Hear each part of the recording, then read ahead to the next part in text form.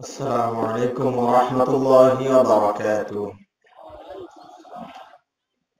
إن الحمد لله إن الحمد لله نحمده ونستعينه ونستغفره ونؤمن به ونتوكل عليه. ونعوذ بالله من شرور أنفسنا ومن سيئات أعمالنا. من يهده الله فلا مضل له ومن يضلل فلا هادي له.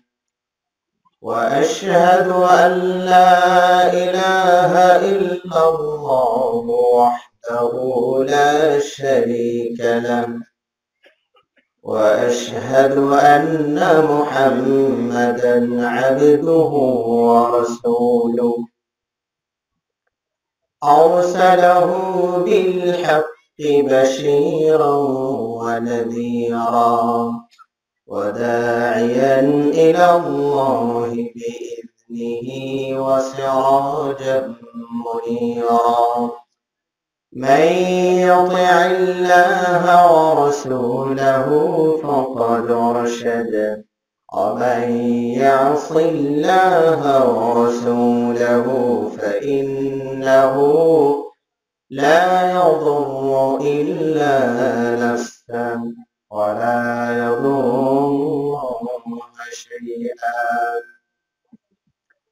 أما بعد فأعوذ بالله من الشيطان الرجيم. بسم الله الرحمن الرحيم. إن تجتنبوا كبائر ما تنهون عنه نكفر. نكفر عنكم سيئاتكم وندخلكم مدخلا كريما. عن أبي هريرة رضي الله تعالى عنه قال قال رسول الله صلى الله عليه وسلم اجتنبوا السبع الموبقات. قالوا وما هن يا رسول الله؟ قال الشرك بالله والسحر. وقتل النفس التي حرم الله إلا بالحق وأكل الربا وأكل مال اليتيم والتولي يوم الزحف وقذف المحصنات المؤمنات الغافلات متفق عليه الحمد لله শুরুতেই প্রশংসা জ্ঞাপন করছি মহান আল্লাহ সুবহানাহু ওয়া তাআলার জন্য যিনি একক অদ্বিতীয় যার কোনো শরীক নেই সবকিছু যিনি একাই সৃষ্টি করেছেন সবকিছুর প্রকৃত মালিক। এবং এ বিশ্ব ভুবনে যা কিছু আছে সবকিছু তিনি একাই নিয়ন্ত্রণ করেন। জীবন এবং মরণের মালিক যে সত্তা সকল সৃষ্টির একমাত্র রিজিক দাতা। দৃশ্য অদৃশ্য সম্পর্কে যিনি সম্মুখ অবগত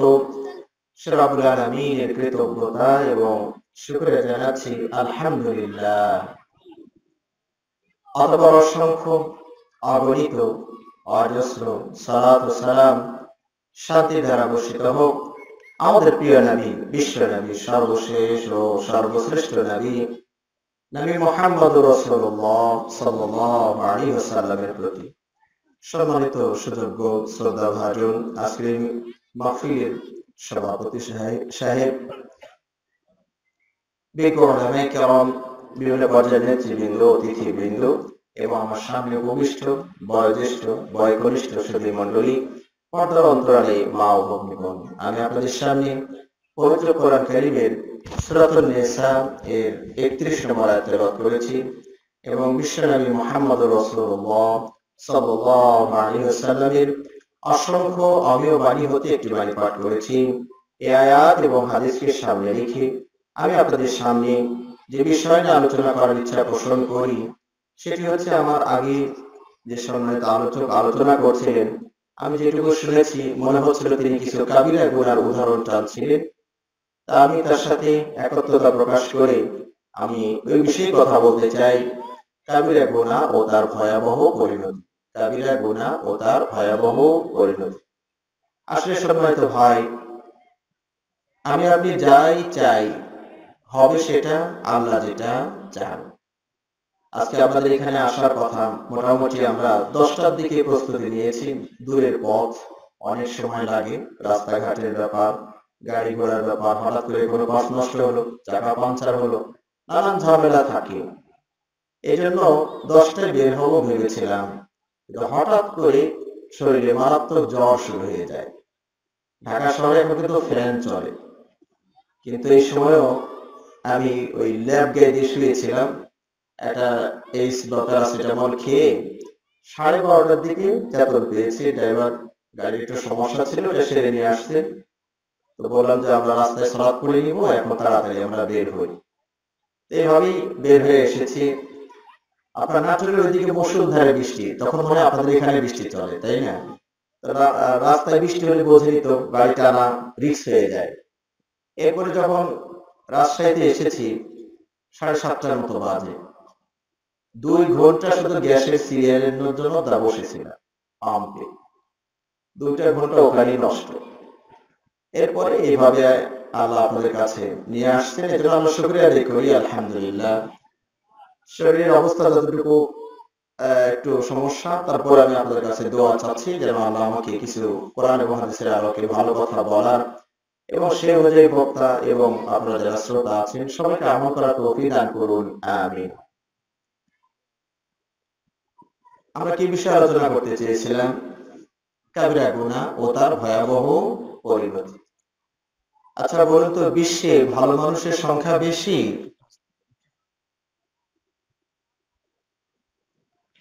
বিশ্বে ভালো মানুষের সংখ্যা বেশি না পাপি মানুষের সংখ্যা বেশি? পাপী মানুষের সংখ্যা বেশি শুধু বেশি না অস্বাভাবিক বেশি? অস্বাভাবিক বেশি। কেন? আজকে বিশ্বে দেখুন, প্রায় আটশত কোটি মানুষ বাস করে। কত কোটি বললাম? আটশত কোটি, কম আর বেশি। এই আটশত কোটি মানুষের মধ্য হতে মাত্র দেড়শত কোটি মুসলিম। তাও আমি মনে করি এটা আসলে এবং নকলে। কারণ হলো, এখানে হয়তো কাদিয়ানিকেও মুসলিম ধরা হয়েছে শিয়াদেরকে হয়তো মুসলিম ধরা হয়েছে, বাহাই একটা গ্রুপ আছে যারা আসলে মুসলিম নয়, কিন্তু মুসলিম পরিচয়ে চলে। এদেরকে হয়তো মুসলিম ধরা হয়েছে। তো সর্ব সাকুল্যে আমরা কতজন মুসলিম হলাম বলুন তো? দেড় শত কোটি। বাকি থাকল কত? সাড়ে ছয় শত কোটি। মানে দেড়শোকে কয়েকবার গুণন করার পরেও আরও পঞ্চাশ কোটির মতো বেঁচেই যায়। তাহলে এই যে সাড়ে ছয় শত কোটি মানুষ সারাটাক্ষণ সর্বক্ষণ সর্বদাস মানে কুফরি নামক পাপের ভিতরে নিমজ্জিত। কথা ঠিক কিনা? অনেকেই শিল্পের ভিতরে হাবুডুবু খাচ্ছেন, এমনকি নাস্তিক্যবাদের ছোঁয়া অনেকের গায়ে লেগে গিয়েছে। এই যে সাড়ে ছয় শত কোটি মানুষ এরা সারাটাক্ষণ বললাম তো গেট লক সার্ভিসের মতো বিরতিহীন তারা দাঁড়িয়ে থাকলেও কুফুরিতে আছে, বসলেও কুফুরিতে আছে, শুইলেও কুফুরিতে আছে। খেলেও, পান করলেও, হাসলেও, কাঁদলেও। এমনকি স্বপ্ন দেখলেও আর কুফুরির অবস্থায় থাকে। কথা বুঝলেন না বুঝলেন না? তাহলে এই বিশাল সংখ্যক মানুষ, মারাত্মক দুটি পাপ, কুফর, কুফুরি এবং শিরিকের মাঝে নিমজ্জিত হাবুডুবু খাচ্ছে বাকি থাকলাম আমরা দেড়শত কোটি মুসলিম। এই দেড়শত কোটি মুসলিম সমাজে পাপের কোনো অভাব আছে? কি বলেন আপনারা? পাপের অভাব আছে? খাওয়ার অভাব কারও কারও থাকতে পারে, টাকার অভাব থাকতে পারে জামা কাপড়ের অভাব থাকতে পারে গাড়ি বাড়ির অভাব থাকতে পারে, জায়গা জমি কিছু সংকট থাকতেই পারে। কিন্তু হেন কোনো পাপ নাই, নেই যে মুসলিম সমাজে ঘটে না। ঠিক না এই সমাজে শিরিক চলে। বিদাত চলে কুফরিও আছে এবং মোনাফিকিও আছে।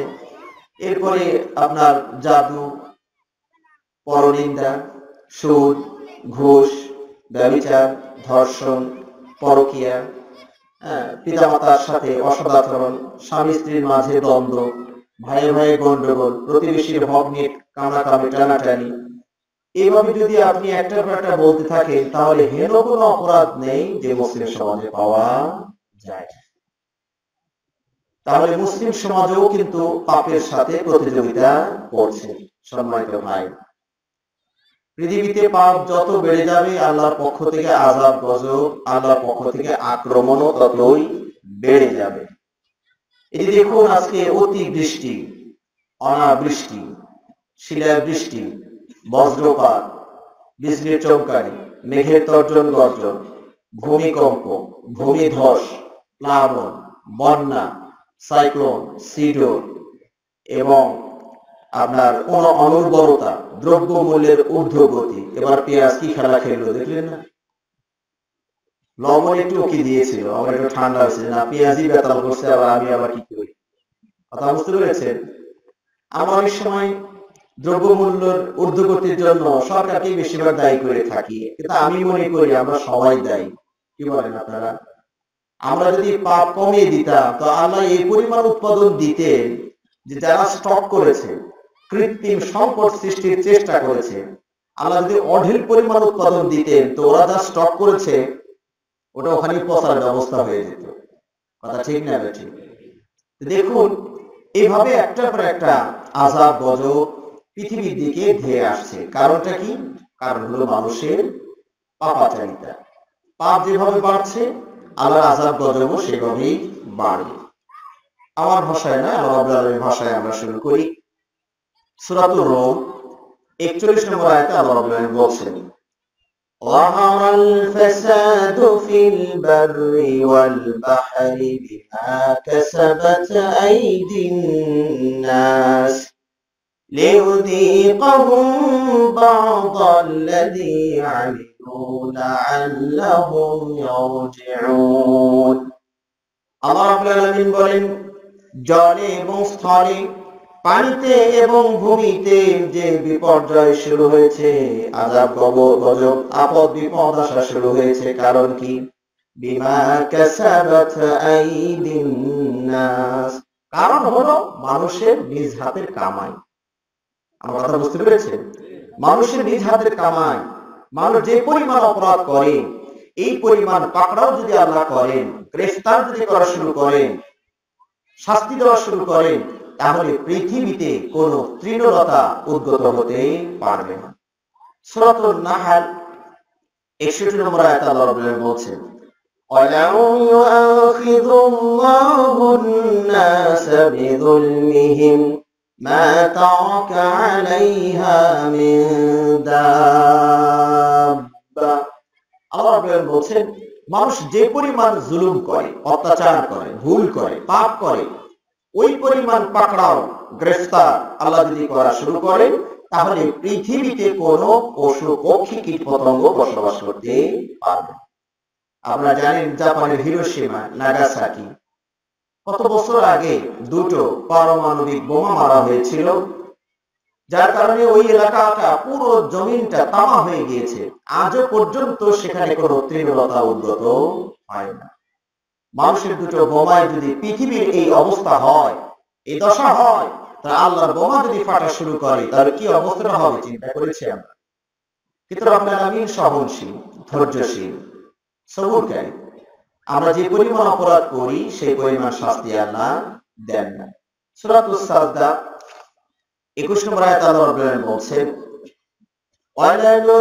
ولنذيقنهم من العذاب الأدنى دون العذاب الأكبر لعلهم يرجعون আল্লাহ রাব্বুল আলামিন বলেন আমি মানুষদেরকে তাদেরকে বড় বড় আযাবের পরিবর্তে ক্ষুদ্র ক্ষুদ্র, ছোট ছোট আযাবগুলো দেই, যাতে করে ওরা সাবধান হয়ে, সতর্ক হয়ে আমার পথে আবার ফিরে আসে।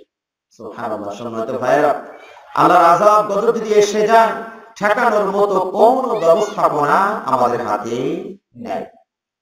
এটা আকাশ দিয়ে মেঘমালা উড়ে যায়, পানির বহর নিয়ে উড়ে যাচ্ছে বাংলাদেশের জন্য চাপাই নবাবগঞ্জের জন্য এক ফোঁটা পানিও যদি আল্লাহর বা আল্লাহর পার্লামেন্টে বাজেট না হয়, তার উপর থেকে এক ফোঁটা পানি কেউ নামাইতে পারবে? কি বলেন পারবেন আবার যদি সব কটা জানালা বন্ধ করে দেন, তাও খোলার কেউ নেই। আবার যদি সবকটা জানালা খুলে দেন, যেমন আজকে দিয়েছিলেন, কে ঠেকাবেন কত দেখি? আজকে যদি শুরু হয়ে যেত চব্বিশ ঘণ্টা সাত দিন ব্যাপী অনবরত মুসুলধারে বৃষ্টি চলছে তো চলছে। কে ঠেকাবে এটাকে ঠেকানোর কেউ আছে? টিবলে চাপ দিলেন? কি সুন্দর মিষ্টি পানি বেরিয়ে আসলো। আমাদের এলাকায় আলহামদুলিল্লাহ অল্প খুললেই মনে অল্প পানি পাইপ গাড়লেই মিষ্টি পানি এসে যায়, তাই না? এই তো কয়েকদিন মংলা গিয়েছিলাম, বাগেরহাট মংলা। সেখানে কিন্তু মিষ্টি পানির সুযোগ নাই। টিউবওয়েলে চাপ দিলে লবণাক্ত পানি আসে। এ পানি খাওয়া যায় না। তারা কীভাবে পানি খায় জানেন? ওই বৃষ্টির পানি যখন বৃষ্টি কয় মাস বৃষ্টি হয়, এই কয় মাসে তারা বৃষ্টির পানি ধরে রাখে। প্রত্যেকটা বাড়িতে হাউস আছে, ট্যাঙ্কি আছে, সেই ট্যাঙ্কিতেই পানিগুলো জমা হয়। সারা বছর তারা এই পানিটা খায়। যে সময় বৃষ্টি হয় না, এই পানিগুলো তারা খায়। তা আমি এখানে গিয়েছি, তো আমাকে মিনারেল ওয়াটার কিনে দিচ্ছে। আমি বলছি, না, এটা খাব না। ছাত্ররা দিচ্ছিল তো, আমি বললাম, তোমরা তোমাদের আকাশের যেটা, ওইটা দাও। কারণ মিনারেল ওয়াটারের প্রতি আমার মারাত্মক সন্দেহ। আল্লাহ একটা পানিতে কত হাজার উপাদান পদার্থ মেডিসিন ব্যবহার করেছেন। আর ওরা রিফাইন করতে গিয়ে কত যে বাদশাদ দিয়ে বের করছে তো আল্লাহ কথা বুঝতে পেরেছে ফ্রেশের নাম দিয়ে হয়তো এমন হতে পারে ভিটামিন যা আছে সব আউট করে দিয়েছে। আজকে দুধগুলো দেখেন না?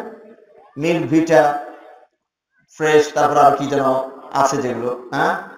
আরও এগুলো একসময় আমরা দুধ গরুর বাছুর দেখুন ও কি মানে সরাসরি খায় গরুর থেকে সরাসরি টান দিয়ে বাছুরটা দুধ খায়। ওর সমস্যা হয় না এখন আমাদের নাকি সমস্যা হবে এই জন্য আমাদেরটা সরাসরি খেতে মানা করে। আল্লাহ নবী সাল্লামের যুগে তো সরাসরি দুধ দহন করে কাঁচাই খেয়ে ফেলতেন। আমরা তো আবার জাল টাল দিয়ে খাই। কথা বুঝতে পেরেছেন? তো এগুলো হচ্ছে আমার কাছে মারাত্মক ধরনের ষড়যন্ত্র। দুধের যা ভিটামিন সব তারা লিখে দিয়ে পানি মিশ্রণ করে আপনাকে দুধের নাম দিয়ে খাওয়ায়। এই ভিটামিন সারা জীবন খেতে থাকবেন, কোনো পুষ্টি পাবেন না। কথা বুঝতে পেরেছেন? তো আমাদের গ্রামের অঞ্চলে মানুষ ভালো আছে, নিজের গরু ফ্রেশ জিনিস আপনারা পান, আমরা ঢাকার লোকেরা বিপদে আছি। আল্লাহ আমাদের প্রতি রহম করুন, বলে আমি যাই হোক, আমরা বলছিলাম যে এই যে টিউবওয়েলে চাপ দিলেন, কি সুন্দর মিষ্টি পানি বেরিয়ে আসলো। এই মিষ্টি পানি জমিনের নিচে কে জমা করে রেখেছে বলুন তো তাই আল্লাহ রাব্বুল আলামিন সূরাতুল মুলকের সর্বশেষ আয়াতে বলছেন قل أرأيتم إن أصبح ماؤكم غورا فمن يأتيكم بماء معين আল্লাহ রাব্বুল আলামিন বলেন আচ্ছা বলো তো এই যে মিষ্টি পানি আমি তোমাদের নাগালের ভিতরে রেখেছি, আমি যদি ইচ্ছা করে এই পানি তোমাদের নাগালের বাইরে নিয়ে যাই, কে তোমাদেরকে মিষ্টি পানির ব্যবস্থা করবে? আছে কেউ? কেউ আছে? মিষ্টি পানির ব্যবস্থা করতে পারে? সুবহানাল্লাহ সুবহানাল্লাহ। আমরা অনেক সময় তর্জন গর্জন করি আস্ফালন করি এবং বলে থাকি যে এবারের দুর্যোগ মোকাবেলায় যাবতীয় ব্যবস্থাপনা আমরা গ্রহণ করেছি। শুনেছেন এরকম বক্তব্য কথা এবারে দুর্যোগ মোকাবেলায় যাবতীয় ব্যবস্থাপনা গ্রহণ করেছি। যদি জিজ্ঞেস করা হয়, কি ধরনের ব্যবস্থা গ্রহণ করেছেন? একটা দুটো হয়তো বলবেন। যাবতীয় মাঝে একটা দুটো পাওয়া যাবে। এক নাম্বার হলো কিছু ওই যে আশ্রয় শিবির স্থাপন করেছে। আর কি? ন- সমুদ্র বন্দর এলাকাগুলোতে দশ নম্বর হুঁশিয়ারি সংকেত দেখাতে বলা হয়েছে। কয় নম্বর? দশ নম্বর। এটা মানে কি? এটা মানে হলো আমরা প্রশাসনের লোক পালাইলাম তোমরা বাঁচতে চাইলে আমাদের সাথে সাথে পালাও কথা বুঝলেন না বুঝলেন না? এটা কি মোকাবেলা? এটা কি মোকাবেলা বলে? কুকুরে তাড়া করেছে বিড়ালকে আর বিড়াল নাভিশ্বাস দৌড় পিঠাশাল দৌড়। আর জোর গলায় বক্তব্য ছাড়ছে, ভাইরা, খেয়াল করে দেখুন, আমি কিন্তু কুকুরের সাথে মারাত্মক ভাবে লড়ে যাচ্ছি। এটা কি লড়ে যাচ্ছে না পালাচ্ছে? কথা বুঝলেন না বুঝলেন? কয়েক বছর আগে আমেরিকার পাগলেরা ঝড়কে লক্ষ্য করে কয়েক রাউন্ড গুলি ছুড়ে প্রতিবাদ জানিয়েছিল এগুলো আমরা মানি না। কেন আসলো আমাদের দেশে? কথা বুঝতে পেরেছেন? তা আমি মনে মনে বললাম, তারা মাত্র কয়েক রাউন্ড গুলি কেন ছুটতে গেল? তাদের হাতে তো পারমাণবিক বোমাও ছিল। দু চারটা মেরে দিলেও তো একটা কাজ হইতো। কিন্তু পাগল হলে কি হবে তাহলে ঠিক আছে। কারণ তারা জানে, এক একটা পারমাণবিক বোমা কয়েক হাজার কিলোমিটার বেগে আগুনের ঝড় তৈরি করে। তো আল্লাহর নর্মাল ঝড় আর ওদের পারমাণবিক এর আগুনের ঝড় দুটো মিলে একসাথে পুরো আমেরিকা জ্বালিয়ে করে দিবে এই জন্য শুধু গুলি ছুড়েছিল, বোমা টোমা আর মারে আজাব গজব আসলে আপনি ঠেকাতে পারবেন না। মানুষ কত বড় অসহায় চিন্তা করেছেন। একটু যদি কুয়াশা পড়ে যায়, তাই আর সামনে অগ্রসর হতে পারে না। এই তো কয়েকদিন আগে, এই মাসে, গত মাসে আর কি বাগেরহাটে প্রোগ্রাম সেরে বাড়িতে মাসায় মাদ্রাসার দিকে, ঢাকার দিকে ফিরছি। রাত দুটোই ফেরি ঘাটে এসে থেমে আছি, ফেরি চলে না। পরের দিন, পুরো রাত গেল, পরের দিন পৌনে বারোটা দিকে একটা দুটা করে ফেরি ছাড়া শুরু হলো। মোটামুটি দশটার দিকে এক আল্লাহর বান্দা আমার ফোন দিয়েছেন শেখ আপনি কোথায়? তা আমি বললাম, আমি তো আল্লাহর হরতালে আটকা পড়েছি। কার হরতাল এটা? বলতো কার হরতাল? আল্লাহর হরতাল। এটা কোনো সরকারি দলও ডাকেনি, বিরোধী দলও ডাকে দেখেছেন কে? আল্লাহ। এমন কুয়াশা দিয়ে দিয়েছেন যে এপারে ওপারে গাড়ি বহর জমা হয়ে গিয়েছে ফেরিয়া চলাচল করতে পারে না। অন্ধ মানুষ কুয়াশাকে মোকাবেলা করতে পারে না, আর আল্লাহর আযাব গজবের মোকাবেলা করতে পারবে। সুবহানাল্লাহ। এই যে সাগর, দৈনিক সত্তর বার আল্লাহর কাছে অনুমতি চান, আল্লাহ আমাকে অনুমতি দিন, আমি জালিমদেরকে একটু সালাম কালাম করে আসি। সুবহানাল্লাহ। আল্লাহ যদি অনুমতি দিয়ে দেন, এই তো সোনামির সময় একটু দিয়েছিলেন। তিন লক্ষ মানুষকে টেনে হেসড়ে সাগরে নামাইছিলেন। কথা ঠিক না গাড়ি, বাড়ি, ঘর, দালান, কোঠা সব কিছু ভেঙে চুরমার করে দিয়েছিল। এই পানি যদি আসা শুরু করে, ফারাক্কা দিয়ে ঠেকানো যায় না ভাইরা ফারাক্কা দিয়ে শান্ত পানিকে আটকিয়ে বাঙালিকে কষ্ট দেওয়া যেতে পারে। কিন্তু সাগর যখন উদ্বেলিত হয়ে, ক্ষিপ্র হয়ে ফারাক্কার দিকে যখন ধেয়ে আসে, তখন ফারাক্কা নিজেও বলে, ছেড়ে দে মা, কেন দেবাসি কথা ঠিক না তখন সব কটা দরজা খুলে দেয়, আর বলে, যা বাবা, যা ছেড়ে দিয়েছি, আমার ভাঙিস না। ফারাক্কা দিয়ে পানি ঠেকানো যায় না। সম্মানিত ভাইয়েরা, আমরা বলছিলাম, আল্লাহর আযাব গজব এসে গেলে ঠেকাইতে পারবে না। এই যে বাতাস, ঝড়, আল্লাহ রাব্বুল আলামিন এই ফ্যানগুলো যে কোথায় ফিট করেছেন দেখুন তো, একটু পাওয়ার বাড়িয়ে দিলেই অবস্থা খারাপ হয়ে যায়। ষাট কিলোমিটার বেগে আশি কিলোমিটার বেগে, দুইশো কিলোমিটার বেগে যদি আল্লাহর ফ্যানগুলো ঘোরে আসলে ফ্যান বলছে এই জন্য বাতাসটা ফ্যানে আমাদের দেশে ফ্যানই বাড়ায়। তা আল্লাহর ফ্যান যে কোন জায়গায় আছে তা আল্লাহই জানে। এই বাতাস যদি প্রবাহিত হয়ে যায় সব কিছু তছনছ করে দিবে। আল্লাহ আলামিন একটা জাতিকে বাতাস দিয়ে ধ্বংস করেছিলেন। মনে আছে আপনাদের? আজ সামা আল্লাহ আলামিন পবিত্র কোরআনে বলছেন সাখখারাহা আলাইহিম সাব'a লায়ালিন ওয়া সামানিয়াতা আইয়ামিন হুসুমা فترى القوم فيها صرعا كأنهم أعجاز نخل خاوية আল্লাহ রাব্বুল আলামিন ওই জাতি জাত সামুদকে সাত রাত আট দিন অবিরত প্রবল বেগে বাতাস চালিয়ে দিয়েছিলেন সবকিছু তছনছ করে দিয়েছিল আলামিন আরও বলেন, তুদাম্মিরু কুল্লা শাইইন বিআমরি রাব্বিহা। বাতাস তার রবের নির্দেশে সব কিছু লন্ড ভন্ড তছনছ করা শুরু করে দিল। এই বাতাসের গতি যদি বেড়ে যায়, কে ঠেকাবে বলুন তো, আছে কোনো শক্তি পৃথিবীতে? আল্লাহ জানার মতো আছে? আল্লাহর ফাইটার বিমানগুলো যদি ছেড়ে দেন, কে ঠেকাবে? অনেকে ফাইটার বিমান আবার খুঁজছে, আল্লাহ ফাইটার বিমান কোথায়? আল্লাহর জঙ্গি বিমান কোথায় আপনার আশপাশেই আছে। এই তো আপনার গাছ গাছালি হচ্ছে এয়ারপোর্ট। এখানে আল্লাহর বিমানগুলো অবস্থান নিয়ে আছে। চিনতে পেরেছেন তো সেই বিমানগুলো কি কি? পাখি। পাখি হচ্ছে আল্লাহ ফাইটার বিমান, জঙ্গি বিমান। অর্ডার পেলেই ঝাঁকে ঝাঁকে আক্রমণ শুরু করবে। কথা ঠিক না? আল্লাহ একটা জাতির উপরে এই বিমান বাহিনী পাঠিয়েছিলেন। মনে আছে আপনাদের? ألم تر كيف فعل ربك بأصحاب الفيل ألم يجعل كيدهم في تضليل وأرسل عليهم طيرا أبابيل আল্লাহ রাব্বুল আলামিন ঝাঁকে ঝাঁকে ফাইটার বিমান পাঠিয়ে দিলেন ওই বাহিনীকে পরাস্ত করার জন্য আল্লাহ রাব্বুল আলামিন কোন স্থল বাহিনী পাঠাননি জল বাহিনীও পাঠাননি কোন বাহিনী পাঠিয়েছিলেন বলুন তো? আকাশ বাহিনীকে পাঠিয়েছিলেন। এই পাখি বম্বিং শুরু করেছিল। বোমা পেলে কোথায়? এই তো আপনার আশপাশে বাড়ির পাশে। কুচি পাথর নিচের খোয়া আর মাটির দলা, নাকি বলেন আপনাদের আঞ্চলিক ভাষায়? মাটির ঢেল।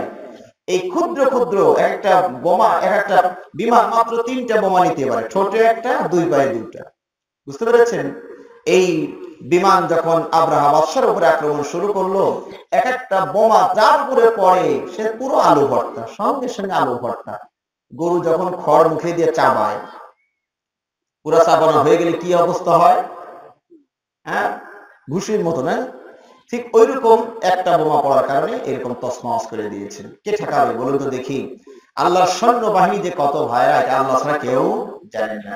وما يعلم جنود ربك إلا هو আল্লাহর যে সেনাবাহিনী কত আল্লাহ ছাড়া কেউ জানে না এই যে এখন রাত এসেছে কার নির্দেশে বলুন তো আবার দিন আসবে কার নির্দেশে সুবহানাল্লাহ যখন আপনারা সূরা মুলকের আয়াতটা পড়েন তাবারাকাল্লাযী বিয়াদিহিল মুলক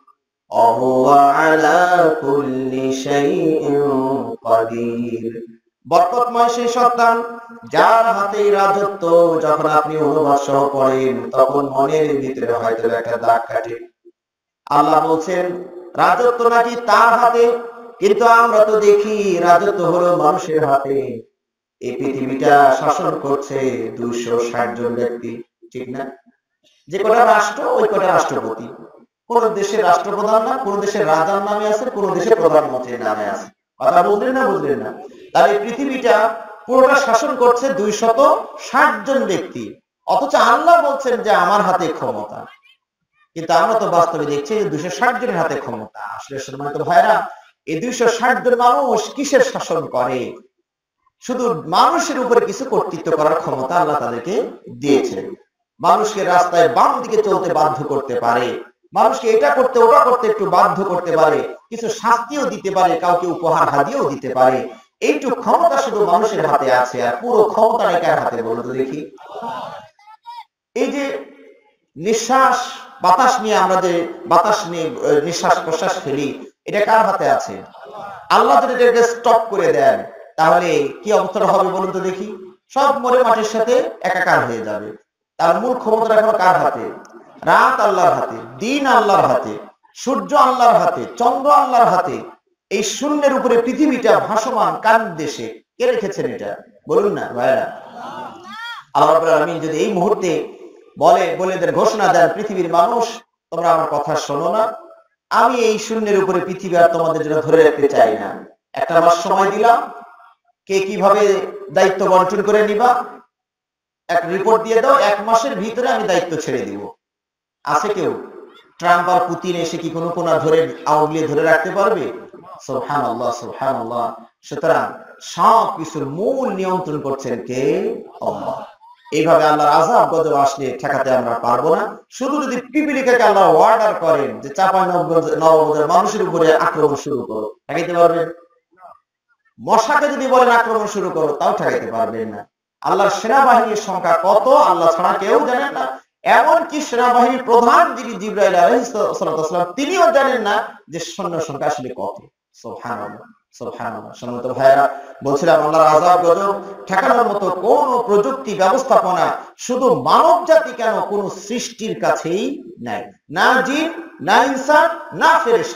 এমনকি কোন কীট পতঙ্গ পশু পক্ষী কারও কাছেই আল্লাহর আযাব, গজব, আল্লাহর আক্রমণ ঠেকানোর ব্যবস্থাপনা নাই। একটাই ব্যবস্থাপনা আমার দৃষ্টিতে, সেটা হলো পাপ ছেড়ে দেওয়া। পাপ যদি ছেড়ে দিতে পারি, অন্যায় যদি ছেড়ে দিতে পারি, তাহলে আশা করা যায় আল্লাহ আলামিন আক্রমণ কমিয়ে দিবেন। আমরা কথা বুঝতে পেরেছেন? সম্মত ভাইরা কাবিরা গুনাহ কাকে বলা হয়? কাবিরা গুনার সংজ্ঞায় জটিলতা সৃষ্টি না করে সংক্ষেপে যেটা আমরা আপনাদের বোধগম্য ভাষায়, বোঝার মতো ভাষায় বলতে পারি, সেটা হলো আল্লাহ যেগুলো ফরজ করেছেন সেগুলোর কোনো একটা যদি কেউ ছেড়ে দেন, তাহলে কি করলেন উনি? কাবিরা গুনাহ করেছেন। আর আল্লাহ যেগুলো নিষিদ্ধ ঘোষণা করেছেন, হারাম করেছেন, এগুলো যদি কোনো একটা কেউ করে ফেলে, তাহলে কি গুনাহ করেছেন বলুন তো? কাবিরা গুনাহ করেছেন। আসলে গুনাহ ছোট আর গুনাহ বড়, এটা নির্ভর করে আপনি কার নাফরমানি করছেন, তার মান হিসাবে।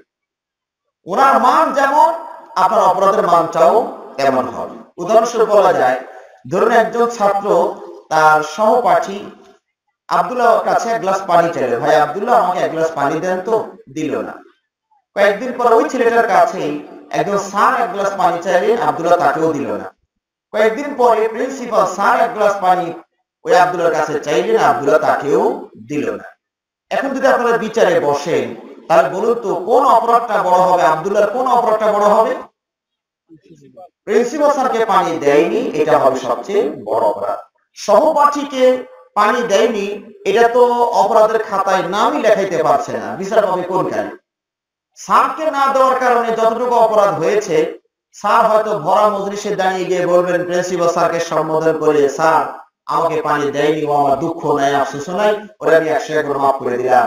কিন্তু কতটা বড় বেয়াদ যে আপনারও পানি দেয় নাই একটু সাজা পাওয়া দরকার। কথা ঠিক না বেটি আসলে তিনটা ক্ষেত্রে অপরাধ তো একটাই ছিল। এক গ্লাস পানি না দেওয়া। ছাত্রকে দেয়নি এক গ্লাস পানি, স্যারকে এক গ্লাস পানি দেয়নি, প্রিন্সিপাল স্যারকে এক গ্লাস পানি দেয়নি। অপরাধ কিন্তু একটাই। তিন ক্ষেত্রে একই অপরাধ ঘটেছে।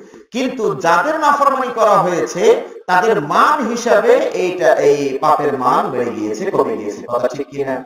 এখন চিন্তা করে বলুন তো, যে আল্লাহর মান এবং শান হিসাবে আল্লাহর যে মর্যাদা এবং ক্ষমতা সেই হিসাবে কোন পাপটাকে আমি ছোট আর ক্ষুদ্র মনে করতে পারি প্রিন্সিপাল স্যারের মান আর শান হিসাবে যদি এক গ্লাস পানি না দেওয়াই অপরাধ হয় তাহলে আল্লাহর মান এবং শান হিসাবে কোন অপরাধটাকে আপনি ক্ষুদ্র আর ছোট মনে করতে পারেন? সুবহানাল্লাহ। এই জন্য আয়েশা রাদিয়াল্লাহু বলছেন লা তাউযু ইলা সাগারিল মাআসি আউযুর ইলা ইযামিল মাতাসি গুনাহ ছোট এদিকে তাকায়ও না, বরং কার করছ, তার মহানতার দিকে খেয়াল করে ছোট্ট ছোট্ট পাপ হলো ছেড়ে দেওয়া অভ্যাস তৈরি করো। ছোট্ট ছোট্ট হলেও অপরাধ যেন আমরা না করি। তারপর দুই ভাগে ভাগ করেছেন, ছোট আর বড়। আমরা যদি এই বড় বড় অপরাধগুলো ছেড়ে দিতে পারি, নিজের জীবন থেকে দূরে রাখতে পারি, তাহলে আল্লাহ আমাদের জন্য মহান পুরস্কার ঘোষণা করেছেন। সূরাতুন নিসা 31 নম্বর আয়াতে আল্লাহ রাব্বুল আলামিন বলছেন إن تجتنبوا كبائر ما تنهون عنه نكفر عنكم سيئاتكم وندخلكم مدخلا كريما আল্লাহ রাব্বুল আলামিন বলেন বান্দারা তোমরা যদি বড় বড় গুনাহগুলো ছেড়ে দাও, তাহলে আমি আল্লাহ তোমাদেরকে দুটো পুরস্কার দেব। এক নাম্বার পুরস্কার হলো তোমাদের জীবনে চলতে ফিরতে, উঠতে বসতে ক্ষুদ্র ক্ষুদ্র ছোট ছোট সবিরে গুনাহ যা হয়, আমি আল্লাহ আপনা আপনি তওবা ছাড়াই অটোই তোমার ওগুলো মাফ করে দিব। বড় গুনাহ থেকে বিরত থাকবে, ছোট গুনাহ আল্লাহ এমনি মাফ করে দিবে তওবাও লাগবে না। দুই নাম্বার সুযোগ হচ্ছে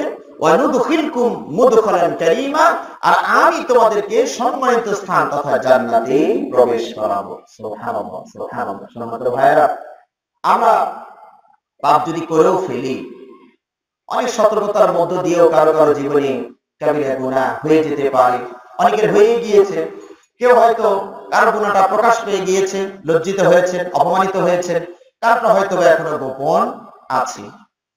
আল্লাহ রাব্বুল আলামিন কি পরিমাণ উদার এবং মানে দয়ার সাগর অপরাধী বান্দাদেরকে তিনি ডাক দিচ্ছেন ক্ষমার জন্য আহ, মানে আসার জন্য আহ্বান করছেন দেখুন আল্লাহ রাব্বুল আলামিন বলছেন قل يا عبادي الذين أسرفوا على أنفسهم لا تقنطوا من رحمة الله إن الله يغفر الذنوب جميعا إنه هو الغفور الرحيم আল্লাহ রাব্বুল আলামিন পাপী বান্দাদেরকে সম্বোধন করছেন ও আমার পাপী বান্দারা যারা নিজেদের উপরে জুলুম করেছো অত্যাচার করেছো পাপ করেছো ভুল করেছো লা তাকুনাতু মির রাহমাতিল্লাহ আল্লাহ রহম হতে তোমরা নিরাশ হইও না, সুবহানাল্লাহ। মানুষ যদি মানুষের অপরাধ করে, ওর চেহারাও দেখতে মন চায় না, এরকম হয় না মানুষের? এক রাস্তায় চলতে গেলে দুজন দুই দিকে মুখ ফিরিয়ে নেয়, ছায়াটাও পাইতে রাবি না। আর আমার আপনার কি পরিমাণ দয়াশীল, আপনি আমি অপরাধ করেছি, আল্লাহ নিজেই আবার আমাদেরকে অপরাধ দিয়েছেন। মুফাসসির ইকরাম বলছেন যে পবিত্র কোরআনে যতগুলো আয়াত রয়েছে, তার মধ্যে হতে এই আয়াতটা পাপিষ্ঠ বান্দাদের জন্য সবচেয়ে বেশি আশাব্যঞ্জক, সবচেয়ে বেশি আশা বহন করে আয়াতটি। কারণ আল্লাহ বলছেন কি, লা তাকনাতু মির রাহমাতিল্লাহ। আল্লাহ রহম হতে নিরাশ হইও না। ইন্নাল্লাহা ইয়াগফিরু যুনুবা জামিআ। আল্লাহ সব গুনাহ মাফ করে দিতে সক্ষম, সুবহানাল্লাহ। অনেক সময় আমরা মনে করি বা বলি যে মানুষের হক নষ্ট করে আল্লাহ মাফ করতে পারেন না। এই কথাটা সঠিক নয়। আল্লাহ পারেন না এরকম কোন শব্দ আসমানের নিচে জমির উপরে? নাই। আল্লাহ ইচ্ছে করলে মানুষের হক কেউ নষ্ট করলে সেটাও মাফ করে দিতে সক্ষম। দলিল আছে তো বড় কথাটা বললাম, ওই যে ইসরায়েলের একজন ব্যক্তি নিরানব্বই জন মানুষকে খুন করেছিলেন, মনে ঘটনাটা আপনাদের? এরপরে আবেদের কাছে গেলেন, আবেদ ভুল মশলা দেওয়ার কারণে ওইটারও সাইজ হয়ে গেল? খুন খুন কয়টা হয়ে গেল? একশো। আগে ছিল নাইন নাইন নয় নয়, এখন ওয়ান জিরো জিরো কথা বুঝতে পেরেছেন? অপরাধের মাত্রা বেড়ে গেল। তারপর মনের ভিতরে ধাক্কা ধাক্কি শুরু হয়ে গেছে। অপরাধ করেছি, তাই বলে কি মাপের কোনো সুযোগই নাই? ব্যবস্থা নাই? মানুষ জনগণ আলেমের কাছে যান। কাছে সংক্ষিপ্ত আকারে তাকে পরামর্শ দিলেন এবং তাকে আশার বাড়ি শুনলেন যে, ভাই, অপরাধী, আল্লাহ আলামিন ক্ষমাশীল। তার ক্ষমার স্রোতের কাছে আপনার আমার পাপ টিকতে পারবে না। আল্লাহ যদি আপনাকে সব গুনাহ ক্ষমা করে দেন, জমিন ভর্তি গুনাহ নিয়েও যদি আদালতে দরবারে উপস্থিত হন, আল্লাহ সব যদি মাফ করে দেন, এখানে প্রতিবাদ করার ভেটো দেওয়ার মতো সাহস কারও নাই। তবে একটা কাজ করতে হবে আপনাকে। আপনি যে এলাকায় বসবাস করেন, সে এলাকাটা হচ্ছে পাপের এলাকা। এলাকায় থাকা যাবে না। একটু ওই যে ভালো এলাকা আছে একটা, ওই এলাকায় চলে যাবে। এই লোকটা, ঘর, বাড়ি, দালান, কোঠা, স্ত্রী, পুত্র, কন্যা, জায়গা, জমি, সহায়, সম্পত্তি সব কিছু বিসর্জন দিয়ে ত্যাগ করে ছুটলেন শুধু ক্ষমার জন্য এলাকায় চলে যাচ্ছে। অতিমধ্যে মৃত্যু উপস্থিত হয়ে গিয়েছে আর মরেও গেলেন। মালাকুল মৌত আর কবজা করে নিয়ে গেলেন। দুই দল এসে গিয়েছেন জান্নাতি দুই দল পরস্পরে তর্ক বিতর্ক। আর জান্নাতি বলছেন, ফেরেশতারা বলছেন, আমরা জান্নাতে নিয়ে যাব। কারণ বেরিয়েছেন। আশা করা যায় তার তওবা কবুল করেছেন। আমরা জান্নাতে নিয়ে যাব। আর জাহান্নামের ফেরেশতা বলছেন, বলেন কি, একটা নয়, দুটা নয়। একশোটা মানুষের খুনি ওকে আমরা টেনে হেসে আগুনে ফেলে দিব। আল্লাহ সমস্যা সমাধান করার জন্য আরেকজন ফেরেশতাকে মানুষের রূপ দিয়ে পাঠিয়ে দিলেন। যা সমস্যার সমাধান করো। সমস্যার সমাধানটা হলো যে, ভাই, তর্ক বিতর্কের দরকার নাই। উনি যে জায়গায় মরে পড়ে আছেন, এখান থেকে ভালো এলাকা আর পাপের এলাকা মেপে দেখুন। যে এলাকাটা কাছে হবে, ওনার মরার স্থান থেকে ভালো এলাকা যদি কাছে হয়, তাহলে জান্নাতের ফেরেশতারা নিয়ে যান। আর যদি পাপের এলাকা কাছে হয়, তাহলে জাহান্নামের ফেরেশতারা নিয়ে যান মাপামাপি শুরু হয়ে গেল। দেখা গেল আল্লাহ আকবার, ভালো এলাকায় কাছে হইয়া গিয়েছে। আসলে কি ভালো এলাকা কাছে ছিল? প্রকৃত পক্ষে তো ভালো এলাকা কাছে ছিল না। ভালো এলাকা দূরে ছিল। কিন্তু রব্বুল আলামিন কৌশল করে বান্দাকে ক্ষমার ব্যবস্থা করেছেন, জান্নাতের ব্যবস্থা করেছেন। ভালো এলাকাকে বলেন তুমি সংকুচিত হয়ে যাও, চেপে যাও। আর খারাপ এলাকাকে বলে তুমি সম্প্রসারিত হয়ে যাও, লম্বা হয়ে যাও। সুবহানাল্লাহ। আল্লাহ কৌশল করে বান্দারে মাফ করছেন। কেন? বলুন তো দেখি। তিনি যে তওবার জন্য যে ছুটে বেরিয়েছেন, ছুটে বের হচ্ছেন ছুটছেন, জমিনে যখন পড়ে গিয়েছিলেন, হামাগুড়ি দিয়েও সামনের দিকে যাওয়ার চেষ্টা করেছে এই যে আকুতি মিনতি। আল্লাহর দিকে ফিরে আসার যে প্রচেষ্টা, এটা আমরা মুগ্ধ হয়ে, খুশি হয়ে ওরা আল্লাহ মাফ করে দিয়েছে যারা ভালো, শিক্ষিত, ব্রেন খাটাচ্ছেন আমার এই কথাতে তাদের মনের ভিতরে একটা প্রশ্ন আসাটা স্বাভাবিক। সেটা হলো যে দুনিয়ার আদালতে ন্যায় বিচার পাওয়া যায় না বলে আমরা পরকালের বিচারের অপেক্ষায় আছি।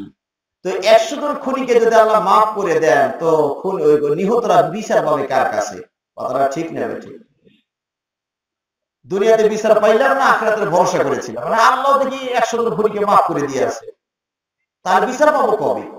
আল্লাহর আদালতে কি জুলুম হয় ভাইরা আল্লাহর আদালতে জুলুম হয়? আমা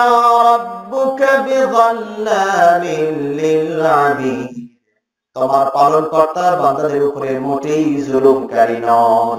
আল্লাহ হাদিসে বলেন, ইয়া ইবাদি হারামতু যুলমা আলা নাফসি ওয়া জাআলতুহু বাইনাকুম মুহাররামা ফালা তাযালামু। আমি নিজে নিজের উপরে জুলুমকে হারাম করে নিয়েছি, আল্লাহর উপরে হারাম করবে, এত সাহসকার আল্লাহ নিজেই নিজের উপরে হারাম করে নিয়েছেন আর তোমাদের মাঝে পরস্পরের উপরে জুলুম করা হারাম করে নিয়েছি, দিয়েছি। সুতরাং করিও না। বুঝতে পেরেছেন? এখন দেখুন, একশো জনের আল্লাহ কি করে দিয়েছেন? মাফ করে দিয়েছেন। এখন একশো জন নিহত ব্যক্তি আল্লাহর আদালতে এসে বিচার চাবে আল্লাহ বিচার করেন। আল্লাহ বিচার করবেন না করবেন না? কে বলেন আল্লাহ বিচার করবেন? করবেন, অবশ্যই করবেন। আসসালাম। আমার কথা বুঝতে পেরেছেন? তাহলে কিয়ামতের দিন বিচারের ধরনটা কেমন হবে বলুন তো? একজনের সব নিয়ে আর একজনের উপরে চাপানো হবে আর একজনের গুণা নিয়ে আরেকজনের উপরে চাপানো হবে। ও পাপ আর পুণ্যের আদান প্রদান হবে। ধরুন, এই আসামি আল্লাহ আদালতে দণ্ড- দণ্ডায়মান বাদী আর বিবাদী। হ্যাঁ বাদী এসে বলল, নিহত ব্যক্তি এসে বলল, আল্লাহ বিচার করে দেন। আল্লাহ যদি বলেন, বান্দা, আমি মাফ করে দিয়েছি। তুমি ওরে কি পরিমাণ, কি পেলে তুমি ওকে মাফ করে দিবা, সেটা আমার কাছ থেকে তুমি নিয়ে নাও। এখন কি, বলুন, ওই কি আমাদের সময় আপনি কি বলবেন, আল্লাহ ওরে আমার সামনে জবাই করে দেখি। আপনি তো টেনশনে আছেন, জান্নাতে যাওয়া আপনারও দরকার। হয়তো বলুন আল্লাহ ওরে মারেন ছাড়েন, ওটা আমার দেখার বিষয় না, আমার কিছু সবল ব্যবস্থা করেন, আমি আস্তে করে একটু জান্নাতের দিকে দৌড় দিই, কথা ঠিক কিনা? তাহলে আল্লাহ আলমিন যদি নিজের পক্ষ থেকে অঢেল পরিমাণ সব তাকে দিয়ে দেন, উনি কি আপত্তি করে বান্দা মাফ করছ রে? ও হে আল্লাহ ডবল মাফ করে দিলেন। মাফ না। তো যখন জান্নাতে যাবে, এটা আমি বলছি, আল্লাহ যদি বলেন যে, এই, তাহলে তুমি যাবা ওরে নিবে না, কয় আসেন ভাই? ওর ওর জান্নাতে নিয়ে আর দুজন হয়তো কথা বলতে বলতে যাবে, যে কি বলতে আবার দিয়ে একবার আমার মারলি আজকে সব আমার বেশি। কথা বুঝতে পেরেছেন? যেটা বলছিলাম এর মানে এটা নয় যে আপনি সকালবেলা বিসমিল্লাহ বলে অপরাধ শুরু করে দিবেন মানুষের হক নষ্ট করবেন, কারণ ক্ষমার দরজা তো খোলাই আছে, শুনলাম আজকে। ওনারে মাফ করে দিয়েছেন, কোরআন, হাদিসের দলিল আছে, বললাম, কিন্তু আপনি আমি অপরাধ করলে আমরাও মাফ পাবেন নিশ্চয়তা আছে নাকি? কি বলে, নিশ্চয়তা আছে? না, সুতরাং আমাদেরকে অপরাধ থেকে বেঁচে থাকতে হবে। সম্মানিত ভাইরা জান্নাতটা হচ্ছে সোজা পথ। জান্নাতের পথ সোজা পথ, আল্লাহর পথ সোজা পথ। আমাদের আসল বাড়ি কোনটা বলুন তো? জান্নাত। বাপদাদার ভিটা, আদম আলহিসাম মা হাওয়া, জন্ম বা বাপদাদা ভিটা হলো জান্নাত। সেখান থেকে শয়তান আমাদেরকে কৌশলে বের করে দিয়েছে। ঠিক তো? সুখের সংবাদ হলো, শুভ সংবাদ হলো, সাধারণত কেউ যদি আপনার জমিটা দখল করে নেয়, এটা মানে কি? যে জমির উপরে সে কর্তৃত্ব প্রতিষ্ঠা করে। ওই জমিনে সেই হাল চড়ায়, সেই আবাদ করে, সেই ফসল কেটে নিয়ে যায়। কিন্তু শয়তান আমাদেরকে জান্নাত থেকে বের করে দিলেও ওই বাড়ি সে দখলে নিতে পারে পারে না বুঝতে পেরেছে এখন কি করা যায়? যাতে আপনিও যেতে না পারেন এই জন্য মাঝখানে ব্যারিগেড সৃষ্টি করে প্রতিবন্ধকতা সৃষ্টি করে ডাইনে ভাবে ঘুরানোর চেষ্টা করছে তার জন্য আপনি এদিকে না যান। আমি আগেই বলেছি জান্নাতের পথ সোজা পথ আল্লাহর পথ সোজা পথ কিন্তু উঁচু নিচু আছে। এই পথে চলতে গেলে উজু করতে হয়। এই পথে চলতে গেলে সালাদ করতে হয়। এই পথে চলতে গেলে রমজান মাসে ক্ষুদাই কষ্ট করতে হয়। এই পথে চলতে গেলে নিজের কষ্টার্জিত পয়সা থেকে জাকাত আদায় করতে হয়। আবার নিজের কষ্টার্জিত পয়সা থেকে হজ করার জন্য মিনা মজদুল আরেফায়ও যেতে হয়। আর ডাইনে বামে যে রাস্তাগুলো আছে একদম প্লেন কোনো ট্যাক্স নাই কিছুই নেই। কথা বুঝতে পারলেন? আপনি রওনা করেছেন এই দিকে। কিন্তু রাস্তার মাথায় গিয়ে যদি দেখেন যেটা ভুল ঠিকানায় আপনি চলে আসছেন। যাবেন চাপাই নবগঞ্জ যাচ্ছেন আপনি কক্সবাজারের দিকে। তাহলে কি এদিকে আর যাওয়া যাবে? বলুন রাস্তা ভুল হয়ে গেলে ওইদিকে যেতে পারবেন? এতে কয়েকদিন আগেই গত মাসেই ফেরি থেকে মাহফিল সেরে আহ, আসছিলাম। যখন বিশ্ব রোডে উঠেছি, তো আমারও মনে হচ্ছে রাস্তার বামই হবে। ড্রাইভারও মনে করছে রাস্তার বামই হবে। কাউকে জিজ্ঞেস টিজ্ঞেস না করে গুগলও সার্চ না দিয়ে বাম দিকে রওনা করেছে। গাড়ি চলছে, আশি, নব্বই, একশো কিলোমিটার বেগে চলছে। অনেক দূরে এসে গিয়ে উপরে দেখে একটা সাইনবোর্ড খাগড়া ছেড়ে পেরেছি আমি বললাম গাড়ি কোন দিক যায়? কেন? ওই যে দেখেন তো খাগড়া ছেড়ে রাঙামাটি তাই তো। গাড়িটা থামাল থামালাম, পাশে ট্রাকের একজন ড্রাইভার ছিলেন। ভাই, এটা কোন দিক যায়? রাঙামাটি। আপনার কোন দিক ঢাকা। তাহলে কেন আসছেন? ওই দিক এখন বলুন তো, এদিকে রাস্তা যতই ভালো হোক, যানজট মুক্ত হোক, এখন এদিকে আমার যাওয়া যাবে? আমার টার্গেট হলো ঢাকা। ঢাকার রাস্তা খারাপ হোক আর যানজট ভরা থাক তবু আমাকে এদিকেই আসতে হবে। তো আমার তেল গেল, গ্যাস গেল, সময় গেল, আমাকে আবার ঘুরে ওইদিকেই যেতে হলো তা আমরা অনেক সময় আল্লাহর পথ থেকে সরে গিয়া শয়তানের চিত্তাকর্ষক পথে পা বাড়াই। যখন বুঝতে পারব যে আমি ভুল পথে চলে আসছি, সঙ্গে সঙ্গে আল্লাহর পথে ফিরে আসার চেষ্টা করতে হয়। এটার নামই কি এটার নাম কি? মানে ফিরে আসবেন এখন যদি কেউ তৌবা করতে চান, তাহলে তৌবার জন্য সাত ছয়টা শর্ত আছে। ছয়টা বলছি বলে অনেকেই ভয় পাওয়ার কিছু নাই যে, এত মনে রাখব কেমনে? সহজ করে বলি, মনে রাখতে পারবেন ইনশাআল্লাহ। এক নম্বর হচ্ছে এই মুহূর্ত থেকে পাপটা ছেড়ে দিবেন। আপনি যে পাপ হতে তৌবা করতে চাচ্ছেন সেই পাপটা এই মুহূর্ত থেকে ছেড়ে দিবেন। অতীতের জন্য অনুশোচনা ব্যক্ত করবেন। ভুল হয়ে গেছে, আল্লাহকে অনুতপ্ত হবেন। আর ভবিষ্যতে করব না, এই মর্মে আল্লাহকে ওয়াদা দিবেন। কটা শর্ত হলো? মনে হয়ে গেছে না, আপনাদের মুখস্থ হয়ে গেছে না? ছয়টা, তিনটে তো হয়েই গেল। কাম তিন প্রকার, অতীত, বর্তমান, ভবিষ্যৎ। অতীতের জন্য অনুশোচনা। বর্তমানে বর্জন আর ভবিষ্যতে না করার প্রতিশ্রুতি। এর তিনটা।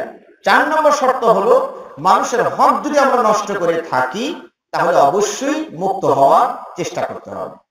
কথাটা বুঝতে পেরেছেন?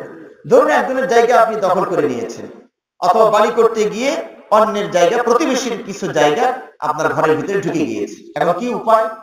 উপায় হলো তার কাছ থেকে ক্ষমা চেয়ে ভাই, বুঝতে পারিনি, আপনার অনেক জায়গা আছে, মাত্র এক দুই হাত ছেড়ে দেন, মাফ করে দেন। মাফ করে দিলে, আলহামদুলিল্লাহ। না হলে একটা দাম ধরে এইটুকুর মূল্য আমার কাছ থেকে নিয়ে নেন। তাও যদি না হয়, তাহলে ড্যানি বামে আমারও জায়গা আছে, আপনারও জায়গা আছে, একটু বাঁকা করে আমার জায়গা থেকে দুই হাত নিয়ে নেন। তাও যদি রাজি না হয় তাহলে আপনার ঘর ভেঙে হলেও জায়গা তার জন্য ছেড়ে দিতে হবে। কিছুক্ষণ আগে ভাই একটা হাদিস বলছিলেন অনেকে খেয়াল করছেন হয়তো। আল্লাহ নবী সাল্লাল্লাহু বলছেন, মান আখাযা শিবরাম মিনাল আরদি যুলমান ফাইন্নাহু ইতাওয়িকুহু ইয়াওমাল কিয়ামাতি মিন সাব'i আরদিন। কেউ যদি এক বিঘত অর্ধ হাত পরিমাণ জায়গা অন্যায় ভাবে দখল করে হাদিসটা বলছেন না ভাই আমার আগে? তাহলে আল্লাহ কি করবেন বলুন তো? সাত তবক জমিন তার গলায়, ওই পরিমাণ সাত তলা জমিন গলায় পেঁচিয়ে দেওয়া হবে। সম্মানিত ভাইরা এক একটা জমিনের ঘনত্ব হচ্ছে পাঁচশত বছরের রাস্তা। কত বছরের রাস্তা?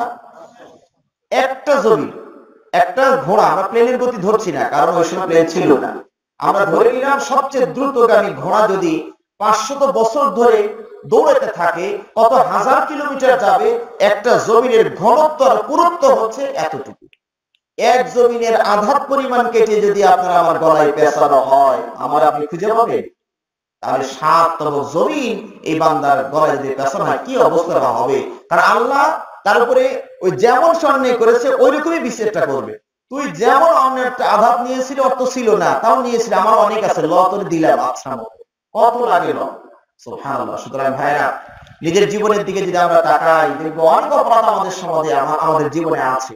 অনেকে আছেন অন্যের গাছের ডাব পেড়ে খেয়েছেন, চুরি করে। হয়েছে না এরকম?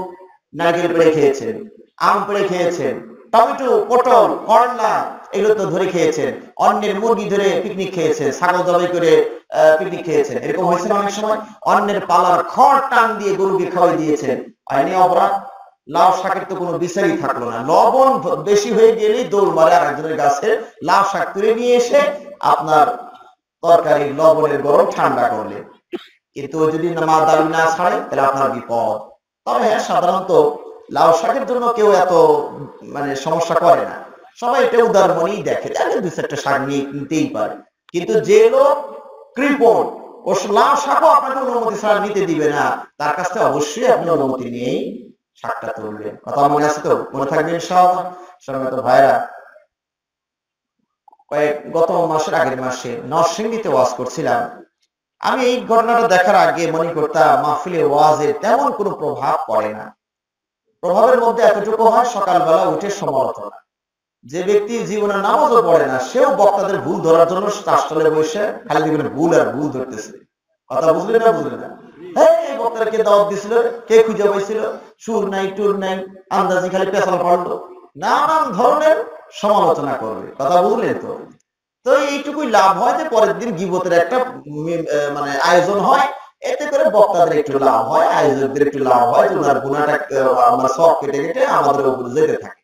কথা বুঝলেন কিন্তু সেদিনের ওয়াজে মনে হচ্ছিল যে, আসলে সব মানুষ একরকম নয়, কিছু মানুষের পরিবর্তন হয়।